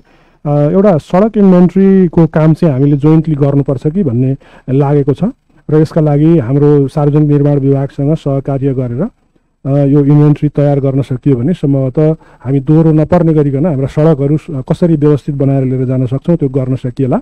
र स्पष्ट रूपमा एउटा हाम्रो निरन्तरको माग छ। त्यो यो सार्वजनिक कार्यक्रममा पनि हामीले राख्न पर्ने खण्ड खातिर पर्यो। यो पासाङ लामु राजमार्गको तल्लो खण्ड समयमा निर्माण नहुँदा हाम्रा कतिपय कुराहरू चाहिँ बाधा बा कुराहरू कार्यान्वयनमा बाधा परेको छ खास गरी फोहोर व्यवस्थापनको काममा। हामीले कमिटमेन्ट गरेर कामहरू गरेको अवस्था रहे पनि पटक पटक त्यसमा आउने विवाद र त्यसको निर्माण कार्य समयमा सम्पन्न नहुँदाखेरि बाधा पर्ने कारणले गर्दा सडक विभागको सम्बन्धित निकायसँग समन्वय गरिदिनका लागि र यो हाम्रो यो हाम्रो आग्रह त्यहाँसम्म पुर्याइदिनका लागि पनि म विशेष आग्रह गर्दछु। नेपाल विद्युत प्राधिकरणसँग हाम्रो ठुलो अपेक्षा छ। त्यसमा सडक बत्तीको पैसाको उहाँहरूको चासो छ। सडक बत्तीको पैसा हिसाब मिलान गर्नका लागि वा हामीले थप तिर्नुपर्ने अवस्था भएमा तिर्नका लागि पनि काठमाडौँ महानगरपालिका तयारै छ। त्यसका लागि हामीले केही हाम्रा तर्फका कुराहरू राखेका छौँ। खास गरी विद्युत प्राधिकरणले स्थानीय हाम्रो प्रचलित कानुनअनुसारको घर जग्गा कर लगायत अरू तिर्न बुझाउनु पर्ने महानगरपालिकालाई कानुन बमोजिम तिर्न बुझाउनु पर्ने पैसाहरू राजस्व विभागसँग समन्वय गरेर बुझाउन बुझाउने कुराहरू सम्भव भयो भने बुझाउन सक्यो भने त्यसले धानेसम्मको कुराहरू हामी हिसाब मिलानमा जान सक्छौँ र थप हामीले तिर्न पर्ने पैसा आवश्यकता रह्यो भने हामी बजेटको व्यवस्थापन गरेर त्यो तिर्न पनि हामीलाई बाधा छैन। र एकचोटि हिसाब मिलान गरिसकेपछि चाहिँ अब हामीले केही सुधारात्मक हिसाबले पनि जानुपर्छ जस्तो मलाई लाग्छ। र त्यसका लागि चाहिँ सम्भव भएसम्म स्मार्ट मिटर जडान गरेर वा उपलब्ध अन्य विकल्पबाट विद्युत खपतको मापनलाई प्रभावकारी रूपले हामीले हिसाब देखाउन सक्यौँ भने हामी वार्षिक रूपमा त्यसलाई बजेटको व्यवस्था गरेर निरन्तर रूपमा सडक बत्तीको हामी जति उपभोग गर्छौँ त्यसको शुल्क तिर्नलाई हामीलाई त्यति ठुलो बाधा छैन। यो कुराको पनि म यहाँ निवेदन गर्न चाहन्छु। काठमाडौँ उपत्यका खानेपानी लिमिटेडले काठमाडौँ महानगरपालिकाको सार्वजनिक निर्माणसँग बसेर युटिलिटी प्लान बनाएर अगाडि जान सक्ने अवस्था रह्यो भने सम्भवतः काठमाडौँ उपत्यका खानेपानी लिमिटेड र हाम्रा बिचमा रहेका कमी कमजोरीहरूलाई सुधार गरेर लिएर जान सकिन्छ भन्ने हामीले आशा गरेका छौँ। बागमती सभ्यता यो चाहिँ अधिकार सम्पन्न बागमती म, का सन्दर्भमा खास गरी फोहोर उठाउनका लागि हाम्रो जुन सवारी साधनको सहयोग निरन्तर रूपमा हामी गर्ने नै छौँ। ढल निमि- नमिसाउनका लागि कसरी सहकार्य गर्न सकिन्छ? हाम्रो छुट्टै कार्ययोजना बनाउने र काम गर्ने सन्दर्भमा हाम्रो सार्वजनिक निर्माण विभागसँग मिलेर काम गर्नका लागि म आग्रह गर्दछु। र त्यस्तै गरी हामी यो परिषदबाट हाम्रो सभा नगरसभाबाट आवश्यक कानुनी बन्दोबस्त गरी बागमती अधिकार सम्पन्न यो बागमती आयोजनासँग कार्यक्रमसँग चाहिँ हामीले नगदी रसिद उपलब्ध गराउने र फोहोर गर्ने फोहोरलाई जबरजस्त हिसाबले चाहिँ समस्याको रूपमा लिने पक्षहरूलाई दण्ड जरिवाना गरी एउटा निश्चित रकम प्रशासनिक खर्चको रूपमा त्यहाँ आयोजनामा राख्ने र बाँकी काठमाडौँ महानगरपालिकामा आम्दानी बाँध्ने कुराका लागि हामी एमओयु गरेर अगाडि जान सक्छौँ र यसका लागि गृह कार्य प्रारम्भ गरिनेछ। खास गरी कोअर्डिनेसनको सन्दर्भमा पनि मैले बुझेको सामान्य कुरा राख्न चाहन्छु। कोअर्डिनेसनको सन्दर्भ सबै कुरालाई एकै ठाउँ ल्याएर सामान्यकरण गरियो र एकले अर्काको स्थानमा बसेर आफ्नो भूमिका परिवर्तन गर्यो भने कोअर्डिनेसन सहज हुन्छ सम्भव हुन्छ। र राजनैतिक नेतृत्वको हिसाबमा महानगर प्रमुखज्यूले नै यसको नेतृत्व गरिराख्नु पर्ने भए र गरिराख्नु भएको कारणले गर्दा नेपाल सरकारसँग नेपाल सरकारको सम्बद्ध मन्त्रालयहरूसँग गर्नुपर्ने समन्वय पनि गरेर सबै जिम्मेवार निकायहरूले एउटा कार्ययोजना बनाएर जान सक्यो भने हामीले यसलाई सहज रूपमा नै समाधान गर्दै जान सक्ने उपायहरू निकाल्न सकिन्छ। र मैले आशा गर्छु कि अर्को हाम्रो बैठकमा अघिल्लो बैठकमा हामी आजको भन्दा व्यवस्थित किसिमले यो कार्ययोजना बनाएर एजेन्डाहरू पनि पहिल्यै हामीले पाँच सात दिन अगाडि नै यहाँहरूलाई उपलब्ध गराएर हामी जान सक्छौँ भन्ने कुराको लागि म आशा गर्दछु र हाम्रो महानगर उपप्रमुखज्यूले केही कुरा राख्नु हुने अवस्था भए म उहाँलाई आग्रह गर्छु। त्यसपछि गर्नु होला अनि म मेयर साहबले टुङ्ग्याउनुहुन्छ यसलाई। धन्यवाद। भइसकेको थियो मैले सरी यसलाई दुईवटा कुरा मैले राख्न चाहेँ एउटा चाहिँ मैले छुट्याएको छु। यो अहिले हामीले प्रदेश सरकारबाट जुन प्राप्त रकम मध्ये पचास लाख रुपियाँ चाहिँ मोबाइल टोयलेटको लागि भनेर राखेका छौँ। अब यसको लागि चाहिँ अब हामीसँग खास त्यति आइडिया पनि छैन। नगरी पनि भएको छैन। भनेपछि विशेष गरी चाहिँ मैले काठमाडौँ महानगरपालिका मेयर साहबलाई यो हाम्रो चाहिँ सम्पूर्ण महानगरपालिका सिस्टममा त्यसको लागि चाहिँ कोरिडोरभित्रको लागि अब कसरी गर्ने भन्ने कुरामा अलिकति सहकारी गर्नको लागि अनुरोध गरेँ। र अर्को कुरा चाहिँ हामीले एडिबी म, को ऋण सहयोगमा यो तल के भन्छ कालमोचन क्षेत्रमा थुप्रै मोनुमेन्टहरूको सम्पदा संरक्षण गऱ्यौँ। त्यहाँ चाहिँ करिब करिब छप्पन्नवटा मोनुमेन्ट्सहरू चाहिँ एकदम डिलापिरेटेड अवस्थामा थिए। त्यसमध्ये अट्ठाइसवटा मोनुमेन्टहरू चाहिँ त्यसको रेट्रोफिट नवनिर्माण पुनर्निर्माणको काम सकिएको छ।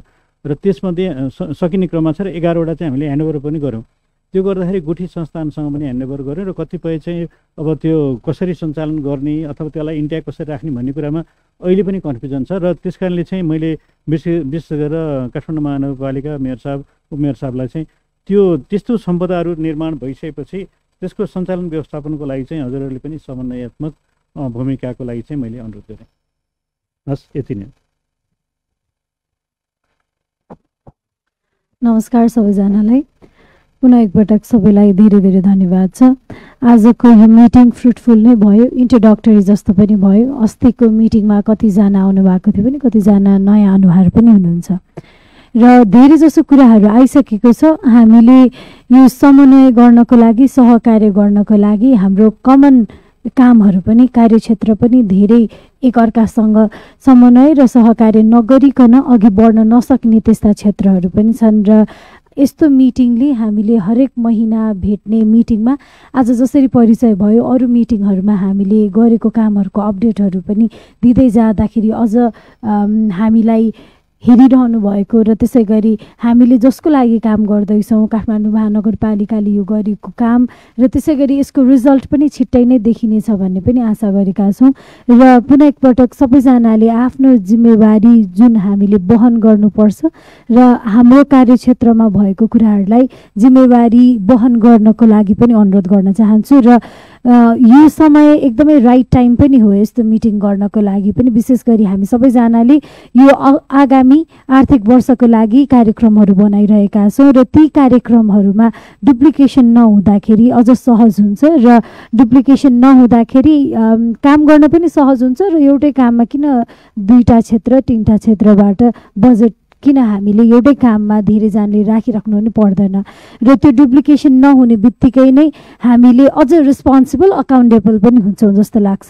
र यो कुरामा ध्यान दिनको लागि पनि एकदम राइट टाइममा मिटिङ भएको छ। यहाँहरू सबैजनालाई अबको कार्यक्रमहरू बनाउँदाखेरि अघि भर्खरै भनिसक्नु भएको छ हाम्रो राम सरले। त्यही अनुसार यहाँहरूको कार्यक्रम पनि हामीलाई जानकारी दिनुभयो भने हामीले बनाउने अब कार्यक्रमहरू बनाउँदैछौँ हामीले ती कार्यक्रमहरूमा रिपिट नहुँदाखेरि त्यो हो नि त बल्ल सहकार्य भनेको।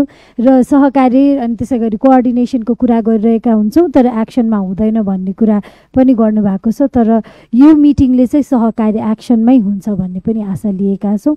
अरू सबै कुराहरू ओभरअल आइसकेको छ। पुनः एकपटक धेरै धेरै धन्यवाद यहाँलाई। थ्याङ्क यू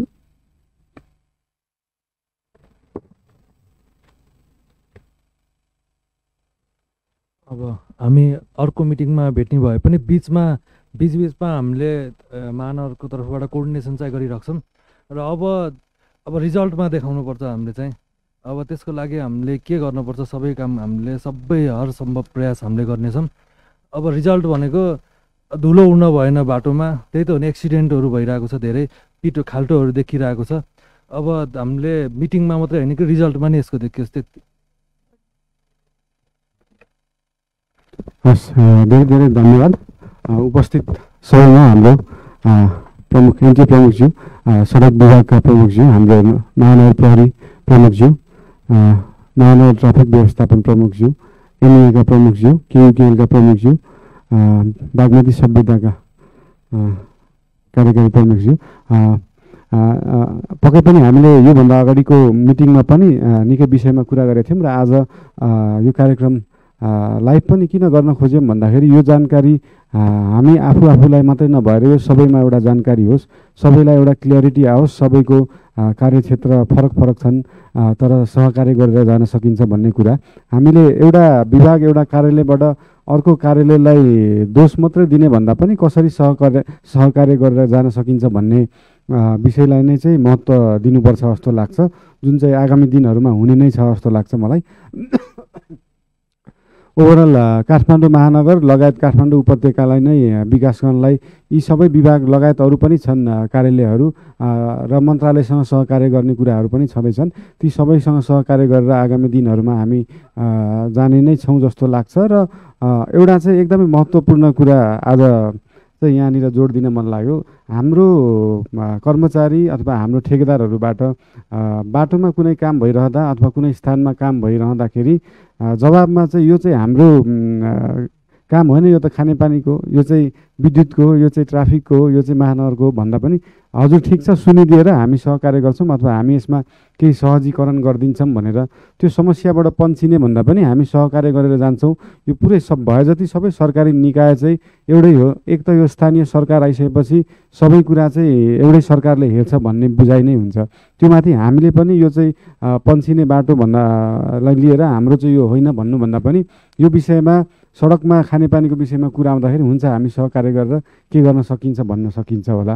होइन? बागमती सभ्यतामा आउँदाखेरि होइन त महानगरले गरिदिनु पर्थ्यो भन्दा पनि ल हस् हामी सहकार्य गर्न गर्दै जानेछौँ यो विषयमा भनेर एउटा साइकोलोजिकली नै मान्छेलाई सरकार छ है भन्ने कुरा चाहिँ महसुस भयो भने चाहिँ हामीलाई काम गर्न अझै सहज हुन्छ र हामीले प्रयास गर्ने हो। हामीले चाहिँ सुधार गर्न काम गर्नलाई प्रयास गर्दै जानुपर्छ।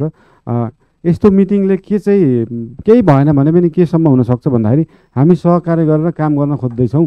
कुन कुन कुरा कहाँ कहाँनिर बाजिँदो रहेछ भन्ने कुरा जनमानसमा स्पष्ट भयो भने पनि धेरैवटा कुरा चाहिँ क्लियर हुन्छ। धेरैवटा कुरा चाहिँ अहिले नै भर्खरै चाहिँ चाहियो भन्दाखेरि होइन यो चिजलाई चाहिँ दुई महिना समय लाग्ने रहेछ। यो काम गर्नलाई एक वर्ष लाग्ने रहेछ छ महिना लाग्ने रहेछ। यो कुरा जस्तै अब बर्खाको समयमा तिन महिना उहाँले भन्नुभयो काम रोकिदिन अनुरोध भयो भनेपछि उहाँहरूले त अब क्ल्यारिटी एउटा दिन पाउनुभयो नि त तिन महिना चाहिँ यो काम रोकिँदो रहेछ बर्खाको बेला। यो सबै अब जस्तै टेन्डरिङ प्रोसेसमा एउटा समय हुन्छ। हाम्रो बजेट आउने बित्तिकै अब ठेकेदारको कामहरू सुरु हुन्छ भन्ने बुझाइ हुन्छ।